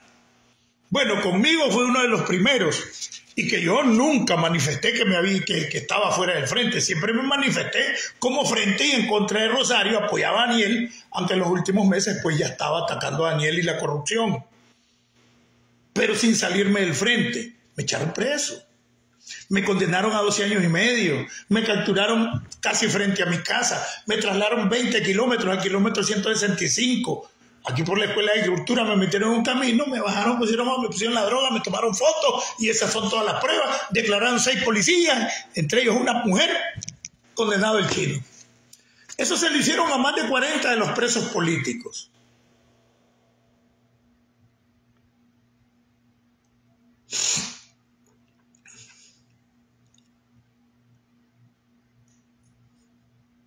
A más de 40 de los presos políticos. Así como me capturaron a mí, casi frente a mi casa en una pulpería, y me trasladaron 20 kilómetros a ponerme droga, así le hicieron a un montón. Ahí está el artesano, ahí está otro, la araña, no sé cómo que le dice. Les pusieron 26 libras de marihuana y también dos fusiles, escopetas, y los acusaron de tráfico de armas y de droga. Lo mismo me hicieron a mí, nada más que a mí me pusieron casi 7 kilos de cocaína. Ahí les puse un artículo de una investigación sobre los falsos quiebres de drogas y montajes que hace la policía de Nicaragua. Ahí se los puse ahora en la tarde y ahí sale mi caso en esa investigación. Entonces están atrasadísimos. Derechos humanos no existen, libertades no existen, y otros andan peleando que yo soy somocista, que yo soy contra, que yo no me uno con aquel y no son ni el 3 ni el 2% de la población nicaragüense. Cuando aquí el problema es que nos están afectando a todos y que todos tenemos que unirnos como nicaragüenses. Dejemos a un lado la pendejera ideológica y salgamos de Daniel, salgamos de la dictadura. Que se hagan elecciones supervigiladas y después en el camino, cada quien si se quiere organizar, que se organice, pero ya con libertad. Aquí hay socialistas, aquí hay de izquierda, aquí hay de derecha, aquí hay de centro. Y a nadie andan echando preso en Estados Unidos por lo que piensa. Si comenzás a hacer, armarte y comenzás a conspirar contra el, el Estado, te van a echar preso en cualquier país del mundo. Peor en el danielismo.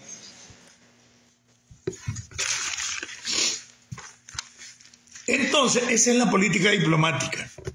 Les voy a contar algo que lo, salió en los periódicos de este año y me estaba fijando. Pero eso yo lo denuncié en 2015.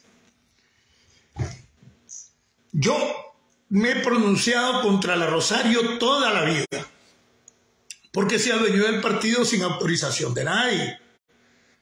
Al punto de que fuiste rompiendo tu esquema mental y llegaste a entender realmente que el camino es la democracia y que se tienen que democratizar. Porque es que están encajonados y muchos creen que es lo correcto. ¿Por qué? Por, por los dos cueros que tiene aquí el caballo cochero, que solo puede ver aquí, no puede ver a los lados.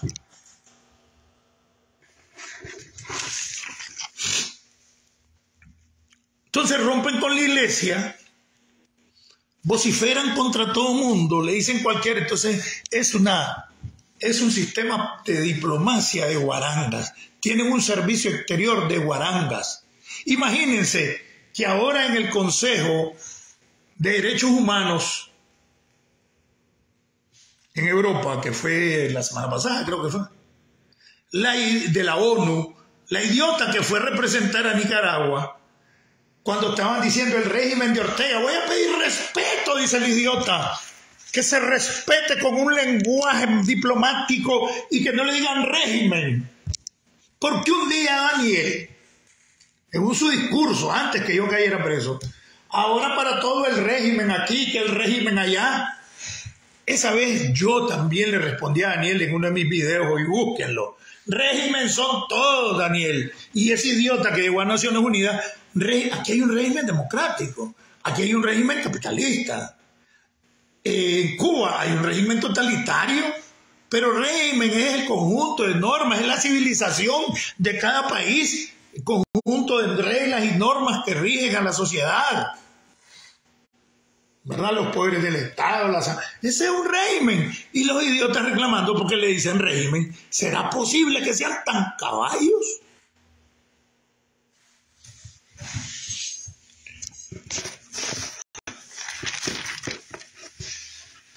División de poderes, alguien decía, bueno, si cuál división de poderes. Yo, la esencia de la democracia precisamente está en la división de poderes. Modernamente la las dictaduras tienen su esencia en el control de todos los poderes. Y claro que una dictadura, yo le digo el crimen organizado entre la fiscalía, la policía y el poder judicial. Y mandan más los operadores políticos dentro del poder judicial que los magistrados de la Corte Suprema. Al punto que echaron preso una magistrada. Todo el mundo sabe lo de Liliana Pérez. Y después apareció renunciando. Tienen preso a una jueza Están echando preso a su gente. Arrancaron conmigo. Hay policías presos. Hay deserciones. Gente que nunca me imaginé están aquí, en Estados Unidos, que se han desertado. O sea, se están desmoronando. Pero el control de los poderes del Estado viene dándose, ya desde antes venían controlando la fiscalía, venían controlando la policía, porque Julio Centeno Gómez estuvo ligado al frente, aunque fuera, hubiese sido el, fiscal general de la República con Arnoldo y con, con Bolaño. Era un blandengue. Y después cayó la Julia, la Ana Julia. Entonces, el que te acusa, que supuestamente es autónomo, es independiente, porque se elige por votos el fiscal general de la República. El policía que te fabrica las pruebas. Y el Poder Judicial que no cree más y está amarrado con la policía y la fiscalía al punto de que los fiscales tienen hasta escritorios dentro de los juzgados. Entonces, ¿existe un crimen organizado? Claro que sí, porque son delitos la acusación falsa, la denuncia falsa, el perjurio, la declaración falsa, el texto, esos son delitos y es lo que viven cometiendo en el 100 casi en el 100% de los casos, sobre todo cuando se ven ligados a casos políticos donde les inventan casos de, de droga, fundamentalmente. Entonces es un crimen organizado entre el Poder Judicial, la Fiscalía y la Policía. Y el autor intelectual, Daniel Hila Rosario, que dirige a todos esos elementos a cometer eso. Es un crimen organizado, también la Procuraduría. Ahorita en la confiscación, la Procuraduría ya le está cobrando a la gente que estaba ocupando o alquilando las propiedades que confiscaron.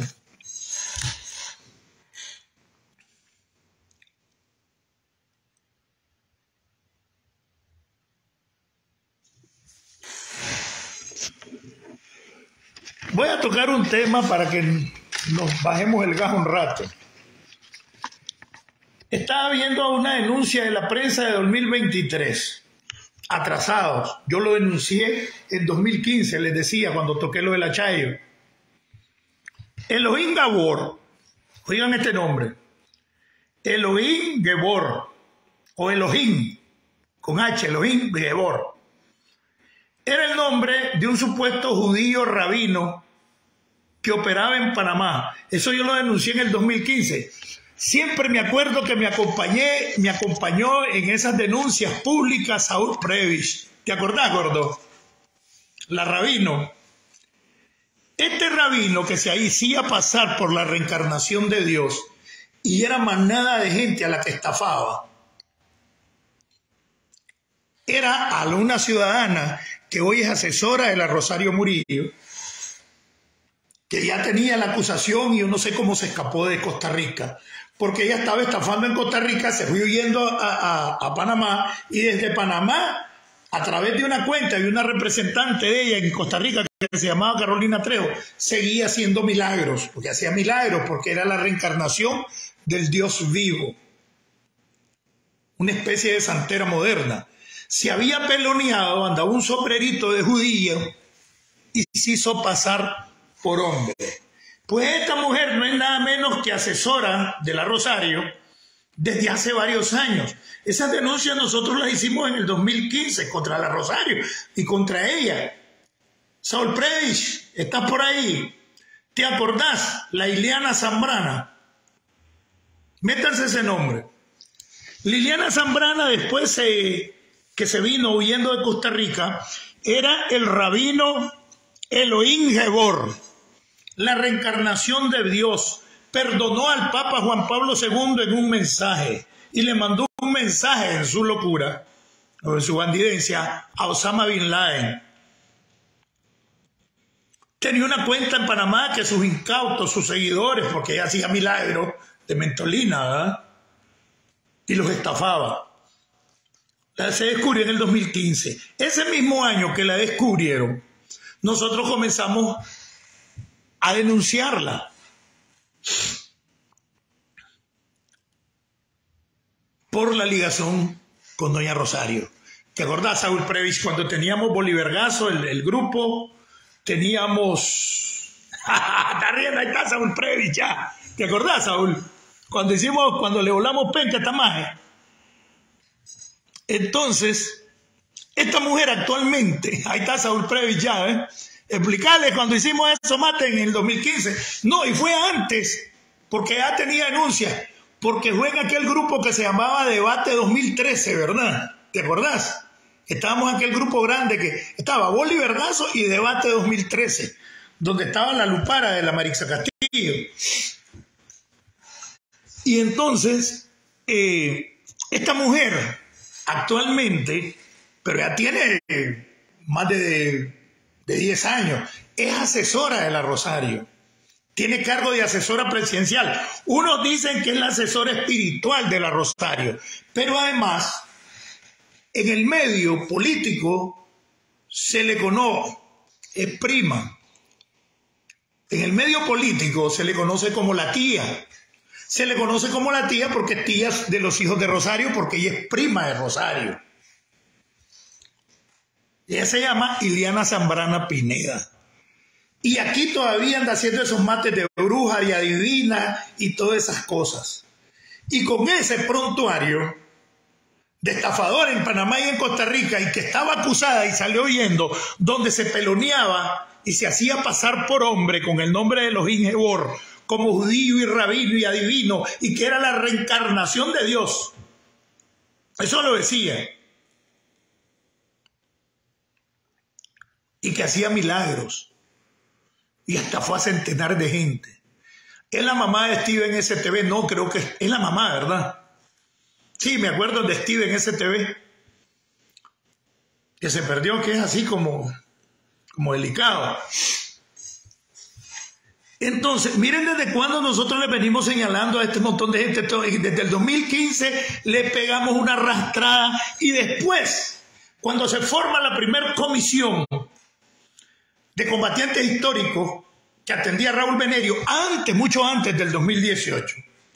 Esa mujer aparece de arriba para abajo en la comisión. Y el mismo Pedrón, José Dolores Talavera Siles, un viejo combatiente, que era parte de la comisión, la alababa y un día en público le tuve que decir que quiere esa vergüenza. Y me dijo, vos sabés cómo es esto, más me decía, como quien dice, es familia de la mujer y hay que darle cuerda. Le dije, pues si esa es una estafadora. Y te estoy hablando antes del 2018. A la Comisión del Sandinismo Histórico se había colado y le dieron, pues, de facto, ¿verdad? Comandante.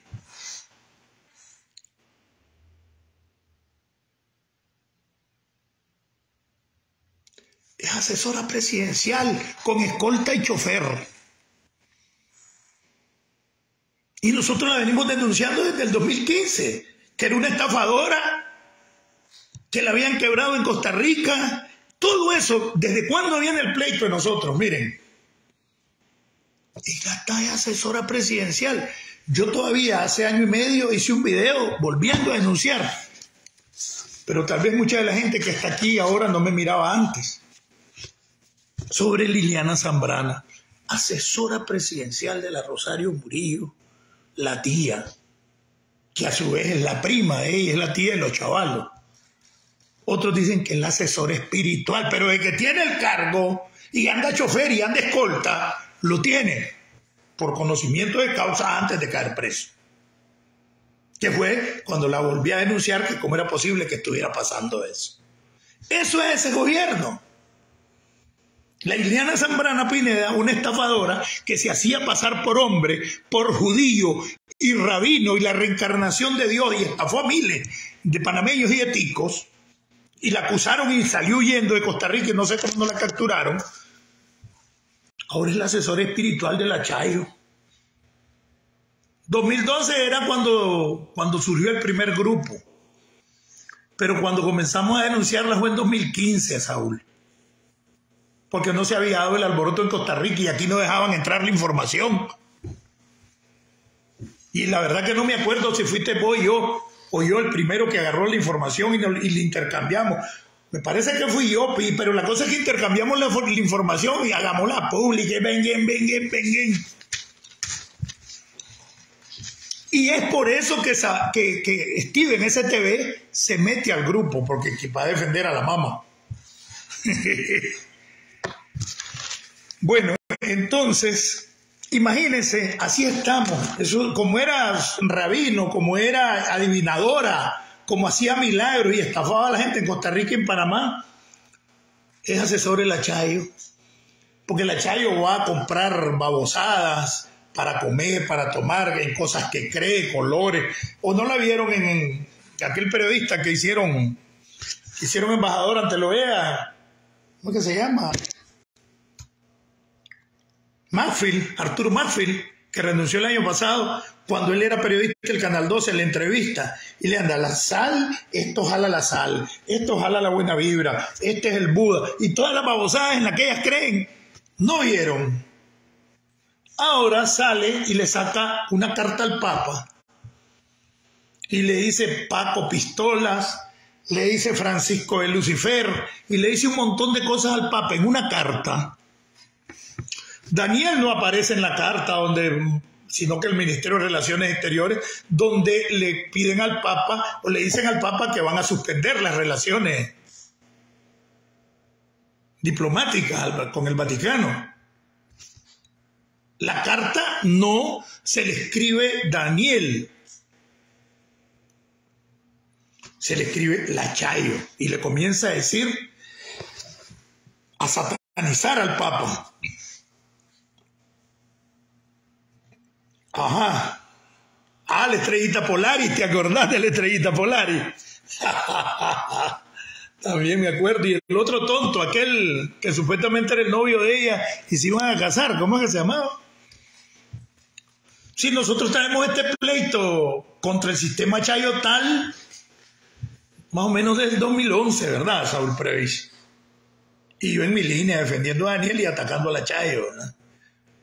Sí, fue en el 2011 el pleito con el alcalde de mi pueblo cuando por la corrupción, más o menos del 2011. Nemo era Néstor Morales, así era, ¿verdad?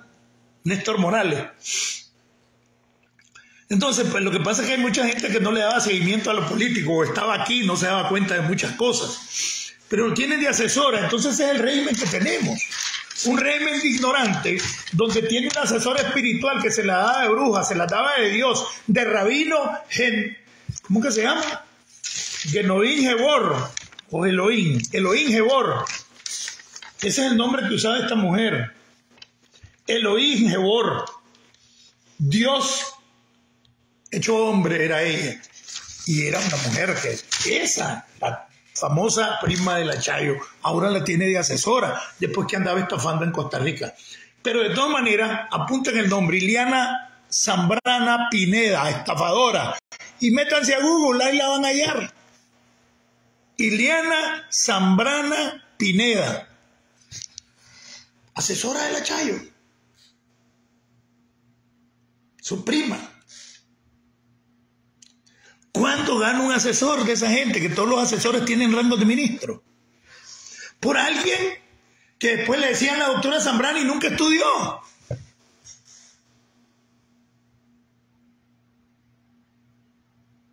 ¿Se imaginan las perlas que han de tener allí y que nosotros no nos damos cuenta?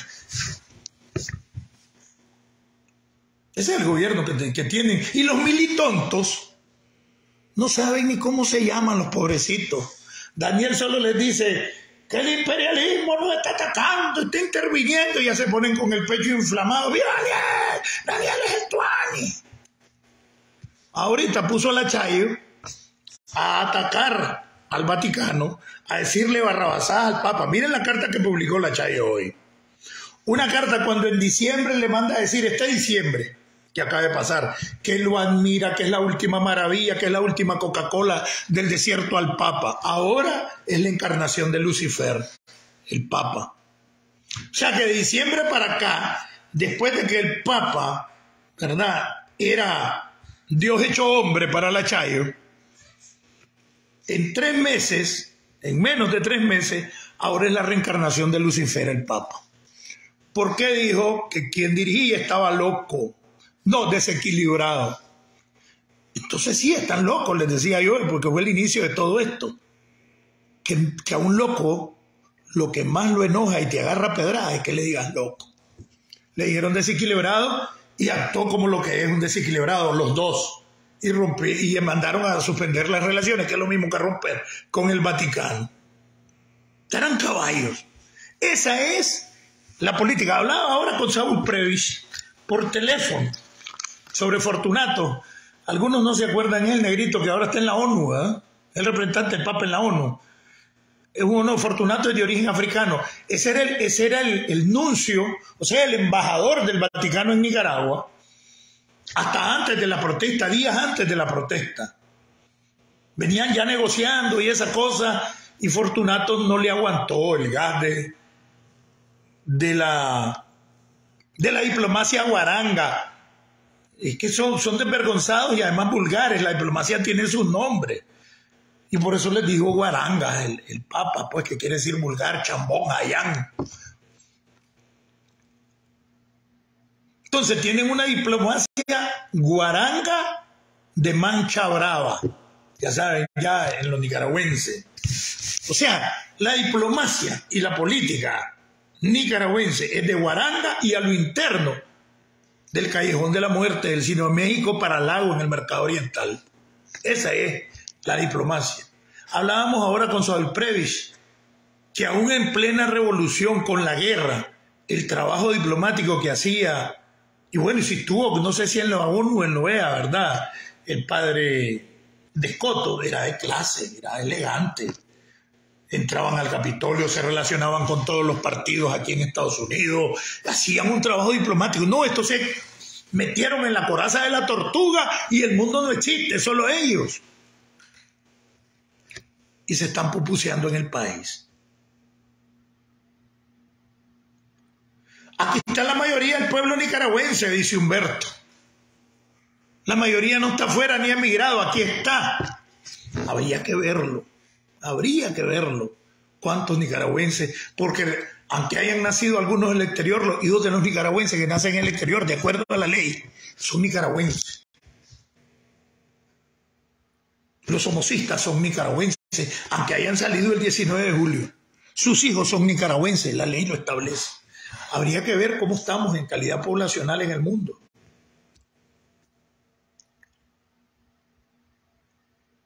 Y si tenés algunos milloncitos de gente en Nicaragua es porque no se pueden ir. y o porque les da miedo aventurarse a una vida mejor. Pero yo conozco centenares conocidos que quieren venir, ahí me están diciendo que se quieren venir, que cómo hacen, que si no sabes que con el parol de fulano me puedo ir, eso es constante, todos los días. Son centenares a mí. ¿Te imaginan a los otros muchachos que salieron de prisión conmigo?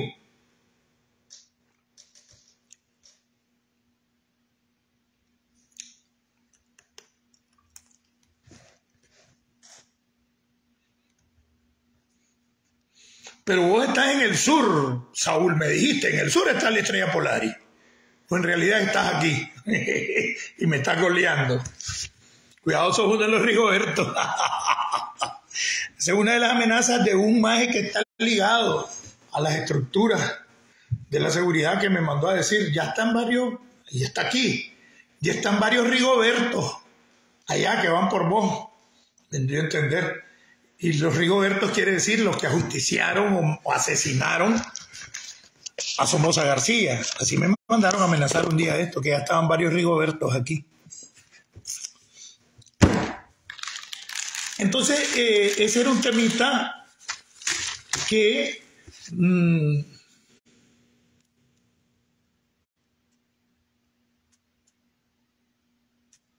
miren esto. Alguien mandó a preguntar que por qué no habían ido a los juzgados los paramilitares. Le explico la jugada. Le explico la jugada. Cuando echaron presos en la primera oleada de presos del 2018, que estuvieron casi un año presos, para mayo creo que salió la amnistía Para mayo salió la amnistía del 2019 y los liberaron en junio. Pero la amnistía que sacan es abierta.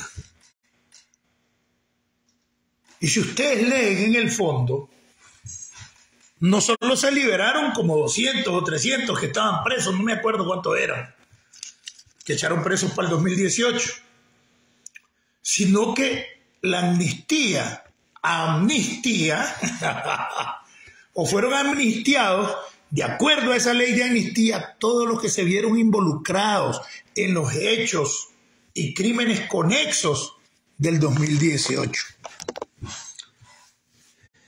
Entonces la jugada está en que esa amnistía, aunque no cayó preso prácticamente nadie de los que reprimieron o mataron, los cubre. Ahí está la jugada. Porque en el entendido de que a Medardo le cayeron como 300 años para el 2018, porque le clavaron los muertos de Morrito, a como se los querían clavar a Elías, que es al que yo le avisé, mira, te están involucrando, se aló, y está aquí, Elías la espada, que lo querían involucrar en los muertos de Morrito, y estaba como a 500 kilómetros de ese lugar, en Matagalpa, el hombre solo porque lo vieron protestando en las calles, en la última manifestación de exmilitares que venían peleando por sus derechos. Entonces, esa es una de las jugadas de quien me preguntó ayer y no le contesté, pero lo anoté y se me fue la onda. Que la amnistía es una amnistía abierta y casi nadie le ha puesto mente de que liberó a los que tenía presos y lógicamente exculpó a los que no habían echado presos de la misma oposición. Pero también exculpa a los que reprimieron tranque, a los que reprimieron las protestas, porque es al todo al que se vio involucrado en los hechos del 2018 y crímenes conexos o delitos conexos. Lean bien esa ley de amnistía y van a ver que ahí está el truco, donde legalmente cubre también no solo a la oposición que estaba presa y liberaron en 2019, sino que cubre también a los criminales del orteguismo. Ese es el primer truco legal que nadie ha querido tocar.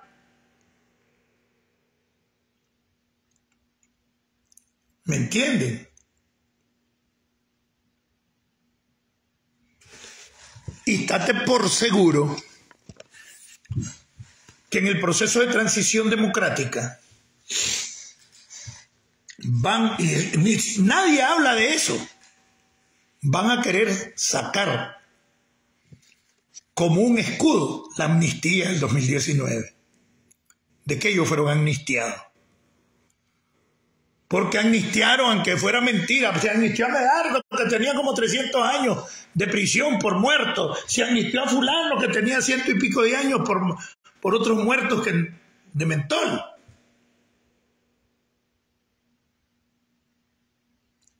Y en esa parte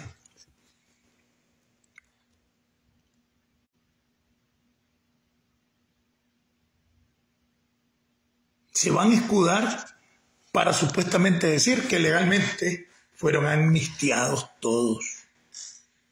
Lean bien esa amnistía. Y allí está el truco del Danielato, del Ortegato.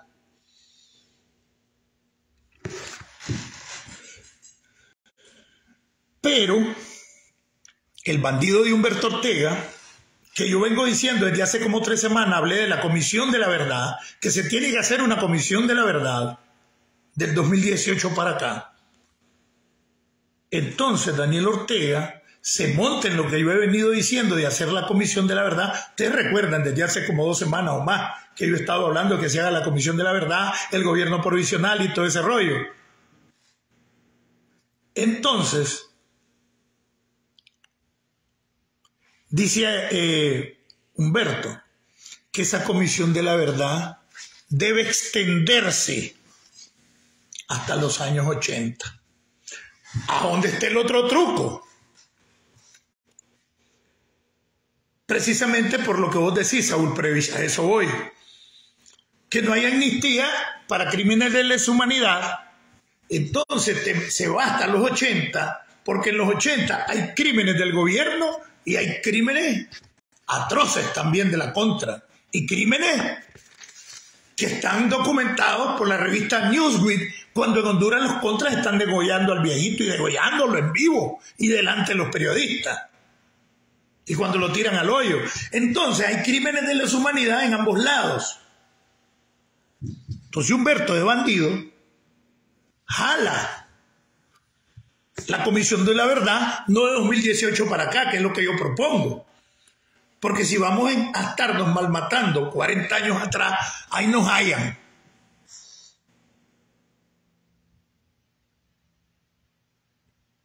Y de esa manera equilibrar la balanza y llegues a la conclusión, mejor no toquemos ese tema, porque también salen untados el montón del otro lado, en la contra.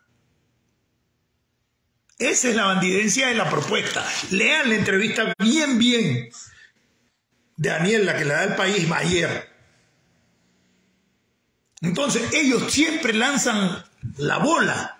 Cuando están pichando, la tiran en salivada. Por eso es que está poniéndose a romper relaciones con el Vaticano y ponerte al borde del abismo. Para que cuando miren al sin remedio y digan, esto es el acabose, aquí lo que puede haber es un genocidio, en la medida en que va avanzando esa cosa que se llama gobierno, dicen ellos, del, del ortegato, obligar a la comunidad internacional al diálogo y a la negociación en los términos que ellos quieren, para evitar un martirio superior y lo peor es que quieren culpar a casi los 200 países del mundo, pues, porque hay, pues, todo el mundo los está condenando.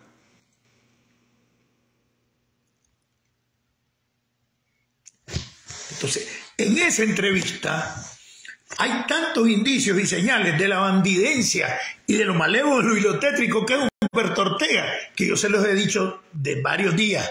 Humberto es más peligroso que Daniel porque es más inteligente y es más desalmado todavía.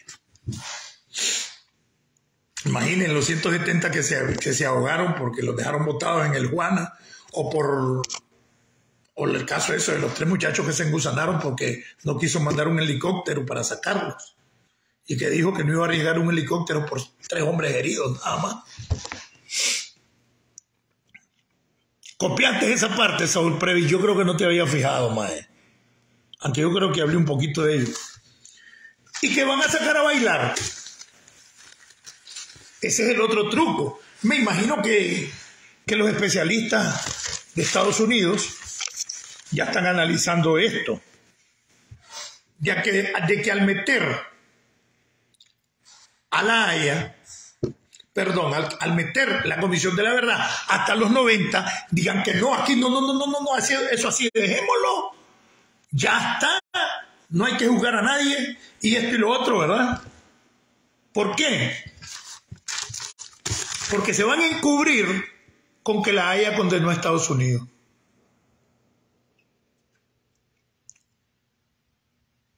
Ese es el truco de que Humberto esté diciendo que la Comisión de la Verdad no sea de 2018 para acá, sino que sea hasta los 80, dice. Fíjense en la entrevista de ayer. ¿No leíste esa parte, Saúl Previch o Carlos Valle, que es el otro que estaba leyendo bastante de esa entrevista? Yo planteé la Comisión de la Verdad para los crímenes como tres, como tres o cuatro videos. Lo vengo planteando desde hace más de dos semanas la Comisión de la Verdad. A como dije que, Daniel estaba loco. A como vengo planteando el gobierno provisional, estatuir ya la transición democrática que hay que trabajar. Ni más ni menos eso. Saúl Previs, si te quedaste tiro, si te correste mato. Caos y hecatombe. Entonces, al final, que llegues a decir, dejémoslo así, mejor le empatamos. ¿Me entienden? Esa es la jugada. Esa es la jugada. Entonces, ¿qué corresponde? Y voy a tener que hacer un planteamiento. Voy a tener que hacer un planteamiento y es el siguiente. ¿Quién se rifa? para que nos reunamos. O lo hacemos virtual, yo no sé.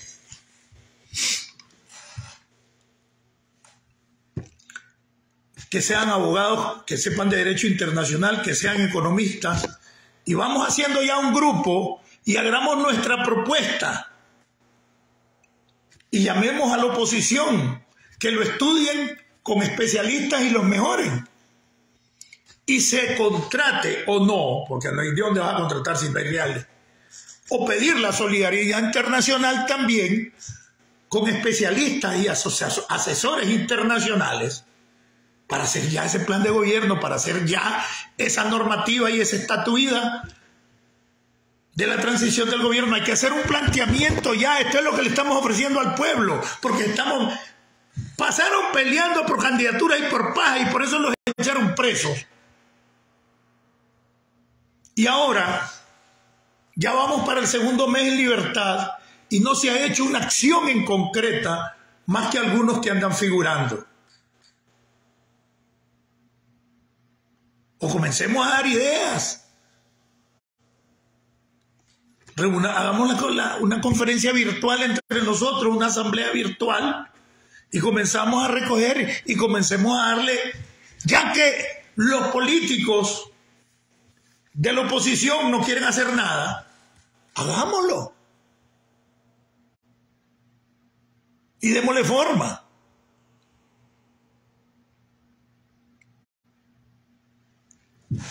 Y no estar con tonterías, pues. Ay, que, que Daniel eh, está haciendo esto y haciendo lo otro. Qué jodido estamos haciendo nosotros. Nada. Solo tapa y televisión y el medio de comunicación y la entrevista. Acordate que primero yo estaba preso, Saúl. Segundo, que fue como en octubre del 2021, que yo ya me comencé a denunciar en vivo eh, la pandilla de la corrupción de Daniel, que venía con la pelota de la Chayo, desde, desde que denuncié a Porras. Pero ya cuando me comencé a meter en vivo, fue como en octubre del 2021, venía denunciando la Chayo y comencé a romper con Daniel Pero yo estaba descontinuado en el sentido porque no tenía ninguna relación con la oposición. Yo creía que se podían rescatar muchas cosas en ese frente chayista. Después el tiempo preso, entonces, si vos lo tenés, mandalo y mandémoselo a varios, ¿verdad? Que tengan luces y se actualiza y se hace un llamado y si, si no nace, es mejor que nazca de nosotros, que somos las bases, a que se apoderen de ellos los viejos zorros.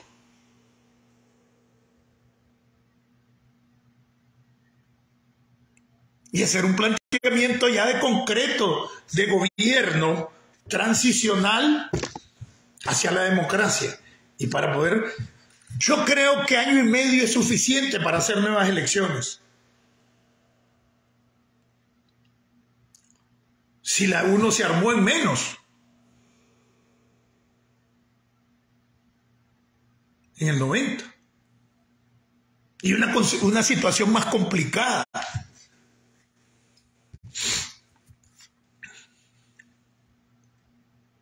Que trabajemos, pues. No quieren trabajar los, que, los que solo andan en los medios de comunicación, trabajemos nosotros. Y decimos, aquí está, y llamémoslos a ellos mismos. Si ellos no se quieren hacer, es que son agentes del danielismo y solo andan pajeándose. Hay que trabajar ya. Ya paremos, y vos sabés, vos, vos fuiste especialista también, Saúl Previch. Vos sabés que las dos los dos métodos que más están eh, utilizando como inteligencia y contrainteligencia es la disgregación hacia objetivo, perdón, la disgregación de grupo y la desviación hacia el objetivo falso para mantenernos ocupados y divididos. Va la virga, discúlpenme la palabra, va la porra. Que trabajar. Ya es demasiado. Y tampoco vamos a estar con figurines nada más que porque tienen contacto con un organismo, una ONG internacional, pueden hasta vivir de eso.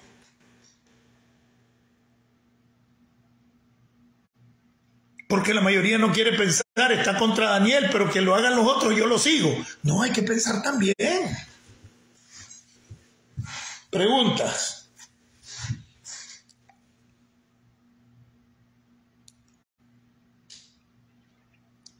Hay que correr. Mira, yo creo que nosotros no estamos gateando. Yo creo que nosotros aprendimos a caminar hace rato. Para decir que no lo podemos, claro que lo podemos, ¿por qué no?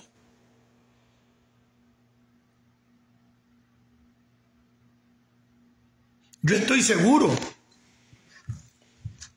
que Estados Unidos puede apoyar una asesoría internacional independiente para no involucrar a los estados.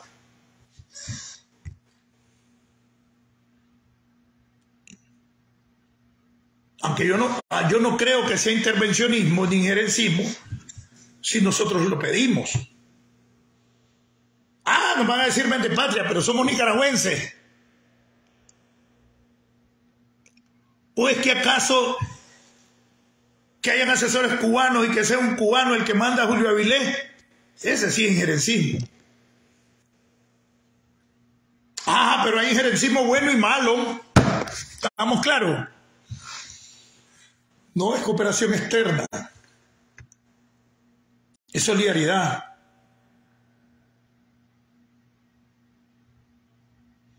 Esa ayuda que dio Carlos Andrés Pérez y Torrijos con las armas en el 78 y 79, nosotros no estamos pidiendo armas. Nosotros estamos pidiendo colaboración y asesoría internacional. Porque solo nos hallan, nos hallan peleando y todo el mundo queriendo un hueso o cumpliendo la misión que le pudieron haber dado las inteligencias de Ortega de mantenernos divididos. Porque esa es una realidad. Ahí andan.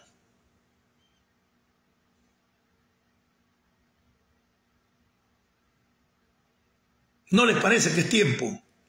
Y comencemos todos los que tienen. Miren, más de la mitad de los que están aquí tienen páginas de comentarios y todo. Yo ya me he fijado, más o menos yo lo he visto. Unos con su nombre, otros con nombre falso. pues que sirvan para propagandizar esta posición. Y trabajemos. Por eso yo no me he metido a ningún grupo, porque estos más comenzaron a regar la bola el infiltrado. ¿Cuál infiltrado? Que yo necesito andarme infiltrando en alguna organización para hacer este trabajo que estoy haciendo. No, lo que necesito es tener dos dedos de frente, nada más. Y la decisión, ¿verdad? A no tener miedo por el riesgo, porque esto tiene un riesgo increíble, ustedes saben.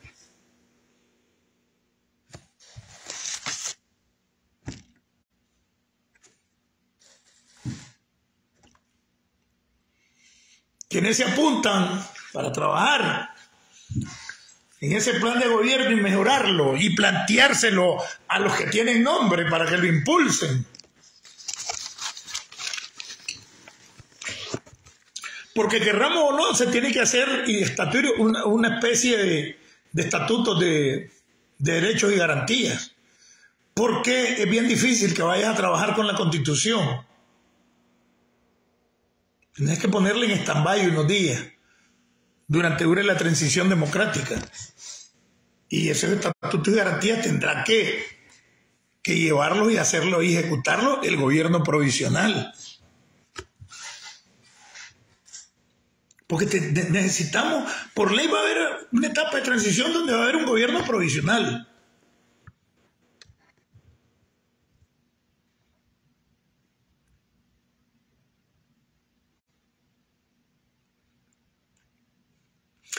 Pero es que, Le Lorenz, todo mundo sabe que Laureano tiene 25 empresas.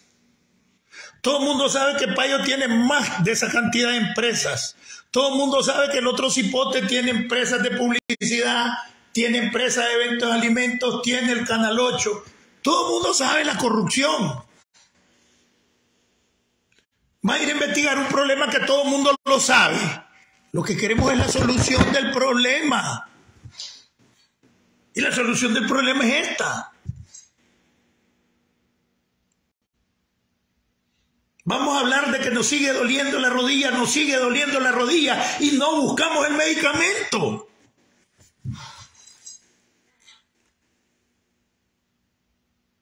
Ya sabemos que eso está podrido y que hay que buscarle una respuesta. Entonces, Vamos a investigar que ya no sabemos que son corruptas y que se han adueñado, y corruptos y se han adueñado de todo eso. Lo que hay que pensar ahorita es en el medio para salir de ellos.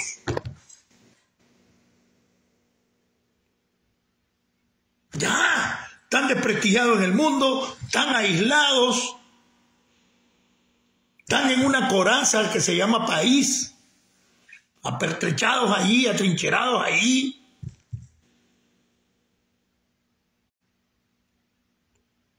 Comencemos a trabajar. Yo le hago un, llamado a María Elvira, ya que, ya que la mencionaste, que solo la conozco de, por los medios, ¿verdad? Que era amiga de, Arturo Cruz, de la familia Arturo Cruz, eso es lo que yo sé. Pues busquemos que, que, María Elvira pues nos haga los contactos y todo para comenzar a trabajar y se le haga la publicidad necesaria a un programa de gobierno alternativo, ya sí, ¿O vamos a esperar las elecciones del 2026 para tres, cuatro meses antes y ahora que han recortado la campaña, darle, ir a ofrecer un programa en unas elecciones que, que es de tigre suelto contra burro amarrado? No. Si algo se tiene que negociar, pues la negociación tiene muchas, por eso es que le está poniendo todo al borde del abismo al volver el caos, para que negocien en sus términos y digan está bien. Jalá, anda a gozar de tu capital, instala tus empresas, hagamos las elecciones. Salió el del poder, se quedó con el poder económico fuera del gobierno. Eso es lo que quiere. A ellos no les interesa ya tanto el gobierno porque con lo que tienen pueden mantener 20, 30 generaciones de de sus familias, de toda la camarilla.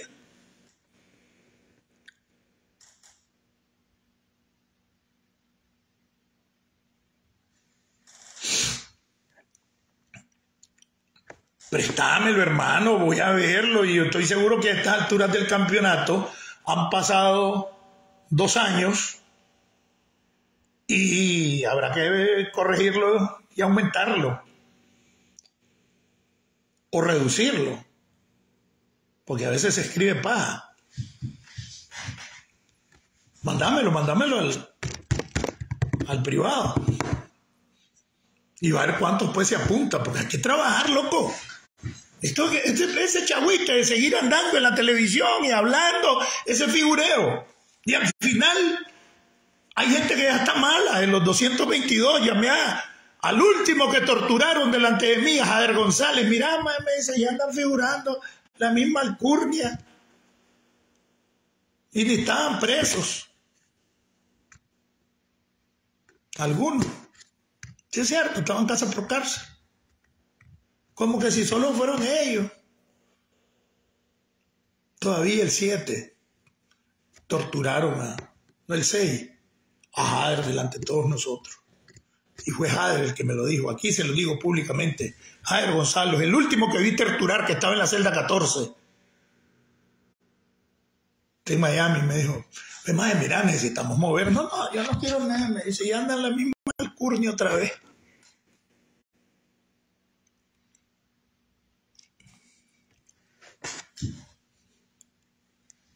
Somos la base. Ningún edificio se construye sin las bases.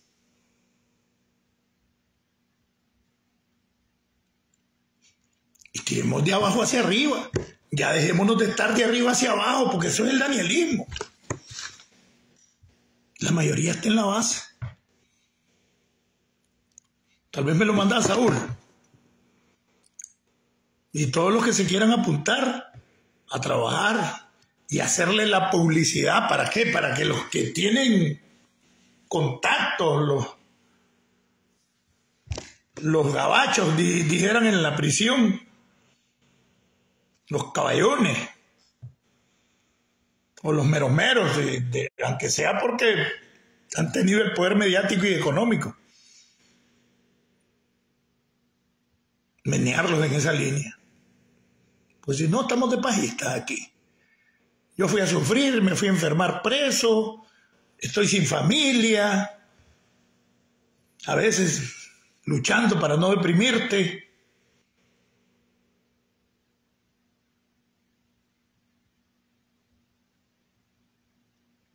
Y así vemos un montón, no solo los 222, un montón de gente que salió huyendo de Nicaragua. Pregunta pues, porque ya se fueron como 20.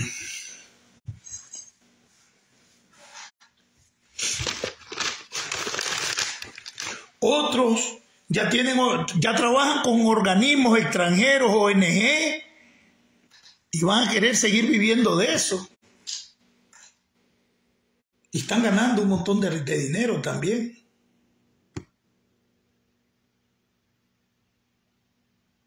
Porque de todo hay en la viña el Señor.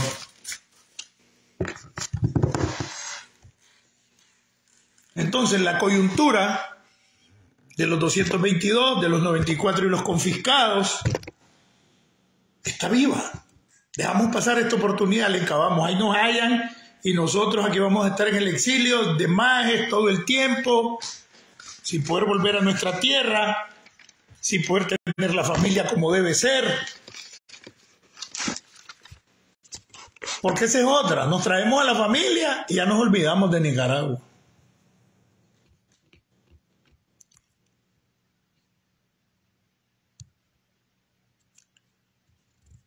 Amilcar, bienvenido, Emir. Preguntas no hay. o vieron que la cosa ya cada día va avanzando y los videos van cogiendo un día, cada un, un, día un ritmo más serio y buscándole la, la cosa que no es tapas, ¿verdad?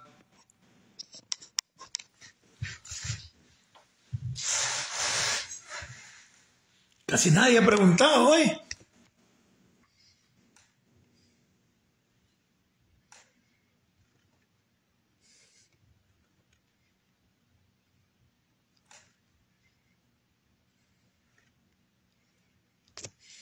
¿Quién puso ahí? Tenemos listos los objetivos. Me pareció ver aquí. El objetivo del programa.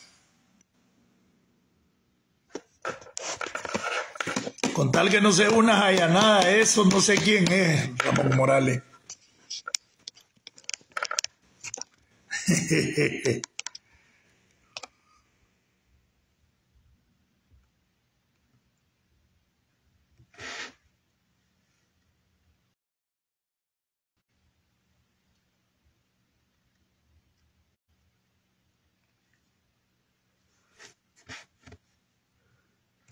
Buenas noches, Julio.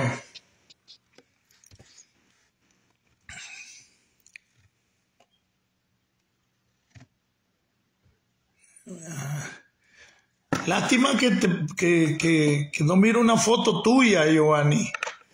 Pero si vos los tenés, envíalo. Hay que ir trabajando con todo. Yo me comprometo a poner todos los esfuerzos por trabajar en esa línea.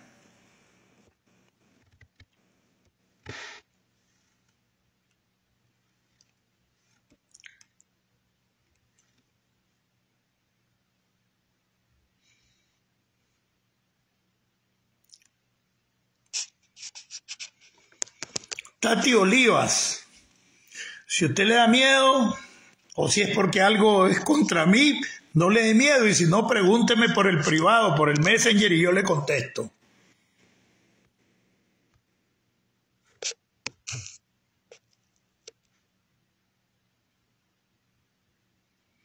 Ah, ya, ya estoy viendo. De eso hemos hablado como en tres videos y hay que ir avanzando sobre lo de Alexis.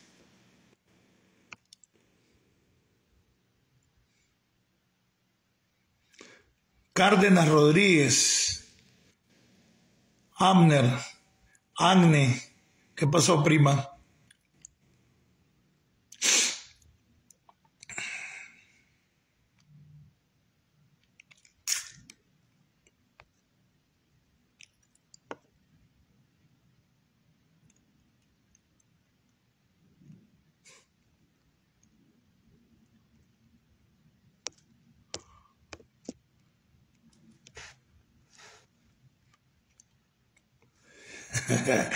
Laura Contreras, ¿conocías a Carebala o a otro Carebala? Yo en Nicaragua no conozco a nadie más que, le digan Carebala. Entonces, la comunidad internacional están aplazados. A nivel interno están aplazados. Lo que da pesar es el atraso de un sector considerable de militontos, alias militantes, que todavía no se han ubicado en la realidad histórica. No, ser revolucionario en estos tiempos es una cosa más difícil, porque cuando estabas contra el somocismo, pues, o era la vida o era el triunfar. Ahora se necesita cranear. Nosotros nos encontramos un porcentaje altísimo de gente que no sabía leer ni escribir, que andaban luchando con nosotros solo por la injusticia del somocismo. Pero hay que avanzar, no te puedes quedar en un pensamiento que las cosas son en negro y blanco.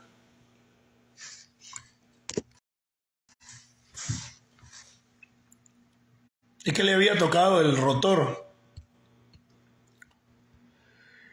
El, que vira, pues. No, no, no, no era eso, que, que le había tocado algo que vira. Bueno, parece que ya no hay preguntas. Se han ido veintipico. No me dices nada si me lo vas a mandar, Saúl Previch. Mándamelo, gordo.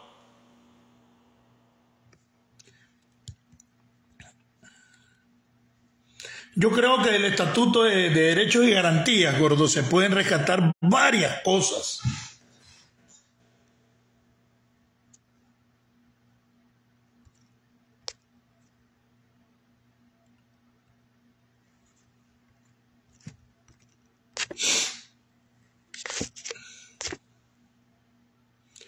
Bueno, por lo visto ya no hay, no hay preguntas hoy. O sintieron que nos estamos metiendo muy en serio, ¿verdad? Y vamos a seguir más en serio. Vamos a seguir más en serio. Si otros andan solo en la paja del, del figureo, hombre, yo no di el paso que di para estar haciendo la mueca. No hay vuelta atrás. Así es que, para adelante. Para adelante. Mandame el plan de gobierno, pues, loco, y revisémoslo ese. Tiene dos años de atraso, ¿verdad? Ahorita. Revisémoslo y miremos qué le actualizamos, qué le quitamos, qué le ponemos y hagamos la propuesta. Ya, si es que esta cuestión no es. Esto es lo que le ofrecemos a Nicaragua.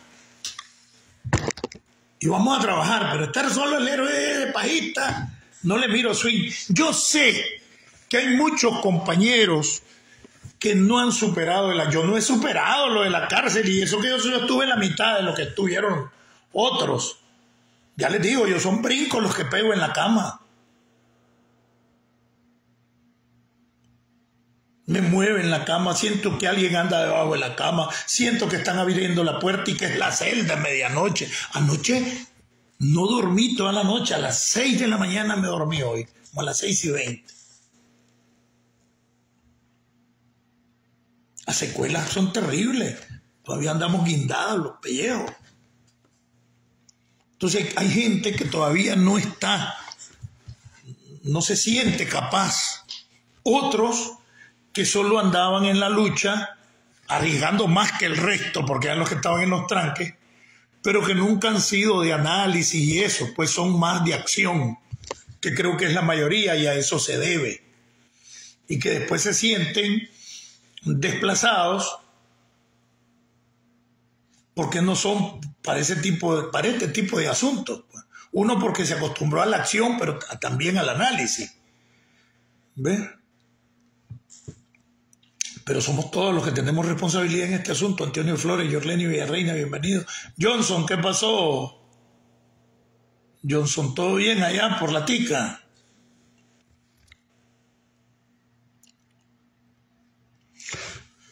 A trabajar entonces, hermano. No me contestaste, Saúl Previ. Se me está haciendo el chancho para que te rasque. Me lo va a mandar el plan. Melvin Vilche. Pura vida, mae. Johnson es tico. No, hombre, Johnson nació en Rivas. Pero llegó a Costa Rica chiquito. Toda su familia es tico. Es tica, ¿eh?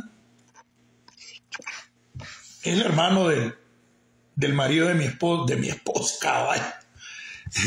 hermano del marido de mi hermana. Igual, hermano, igual. O sea, es cuñado de mi hermana. Pues. Ahí vive mi mamá con, con, mi cuñado en Costa Rica, a quien le agradezco mucho el, el trato que ella y mi hermana le han dado a mi madre. Vive como reina, mi vieja. Gary, bienvenido. Bueno, pues parece que ya no, no hay preguntas, no hay nada, como que no me digan que se están rajando cuando ya le estamos planteando trabajo en la concreta, ¿verdad? El, que es lo que tenemos que hacer.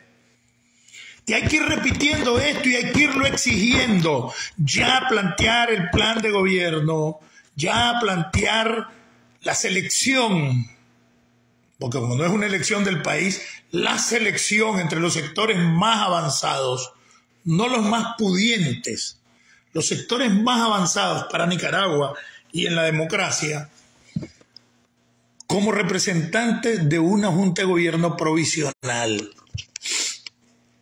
Lo único que se tiene que negociar aquí es la salida de Daniel, si ya está listo. No hay nadie que quiera relaciones internacionales con él. La comunidad internacional, pudiéramos decir que en unanimidad, solo tres, cuatro países no quieren nada con él.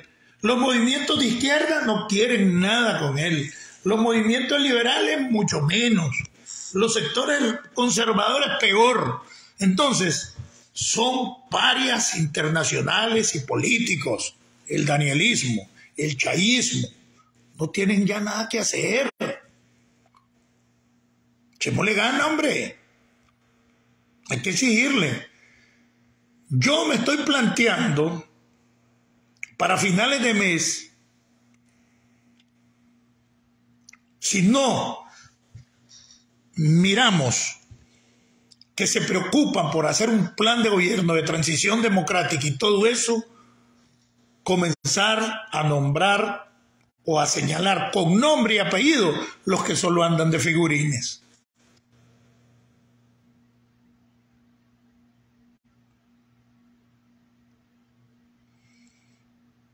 Porque hay gente que le encanta la cámara, le encantan los flash.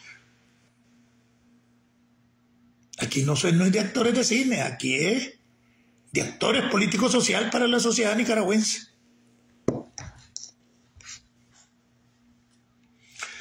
Parece que venía entrando Antonio Flores o no has visto la, la secuencia de las cosas, de lo que se está hablando. ¿O sos de los que andan pensando en armas y esas cosas? ¿Por qué no tenés foto de perfil, hermano? Hay que dar la cara, hombre. Yo no sé por qué. Y, no está, y parece que Antonio no ha oído que los planteamientos que son concretos, que no están viendo que nos soltó porque ya no aguanta la presión y las sanciones nos soltó a los precios políticos, pues que se aumenten las sanciones, pero que se dé la unidad y que se plantee ya un plan de gobierno, la comunidad internacional en acción y entrar. Eso es concreto, Antonio Flores. Por eso no soltó, porque no aguanta la presión. Pero si decís vos que, que en concreto, ¿qué? Arma, nadie quiere eso.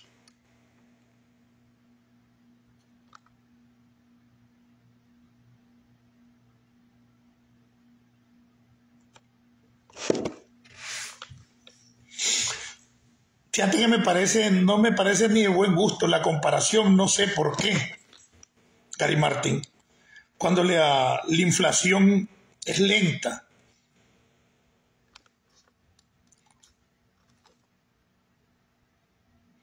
Lo que pueden hacer es una cordobización para retenerte el dólar que entra, sobre todo en la remesa, y pagarte córdobas. Pero la operación Berta fue una respuesta que el danielismo dio, o el sandirismo en ese tiempo, a la galopante inflación. Y no les resultó. A los días estaba otra vez, porque era, imposible, ¿verdad?, de tener un, un, ajo inflacionario cuando eh, no había oferta. Vos sabés que la inflación es producto de la oferta y la demanda. Cuando la demanda es mucha y la oferta es poco, entonces hay poco que ofertar. Entonces lo poco que hay se vuelve caro, como, como ahorita en la zona seca, pero que ahora se pasaron, ¿verdad?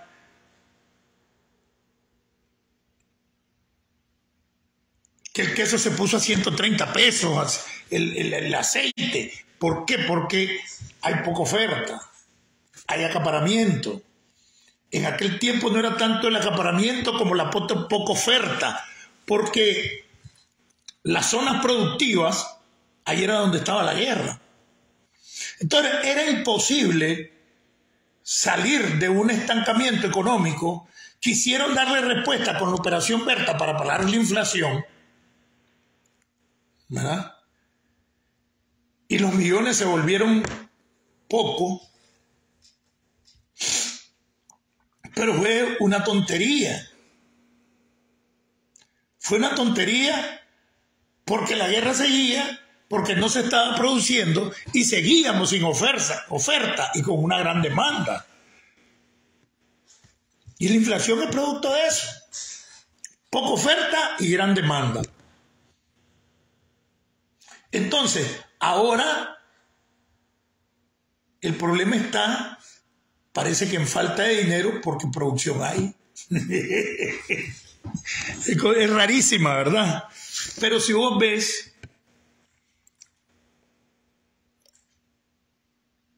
que pasó como, como tres años para pasar de 35, llegar a 36. Entonces la planificación del famoso deslizamiento, que para mí es un, el nombre lindo, como dijo el Papa, para decirle loco a Daniel, de la inflación, el deslizamiento, y ese no lo inventaron los sandinistas, ¿verdad? Eso, eso no lo inventaron, el deslizamiento no lo inventaron los sandinistas. Que se montan sobre la jugada, porque si en realidad hubiesen querido cambiar las cosas, no hubieran seguido con el mismo sistema.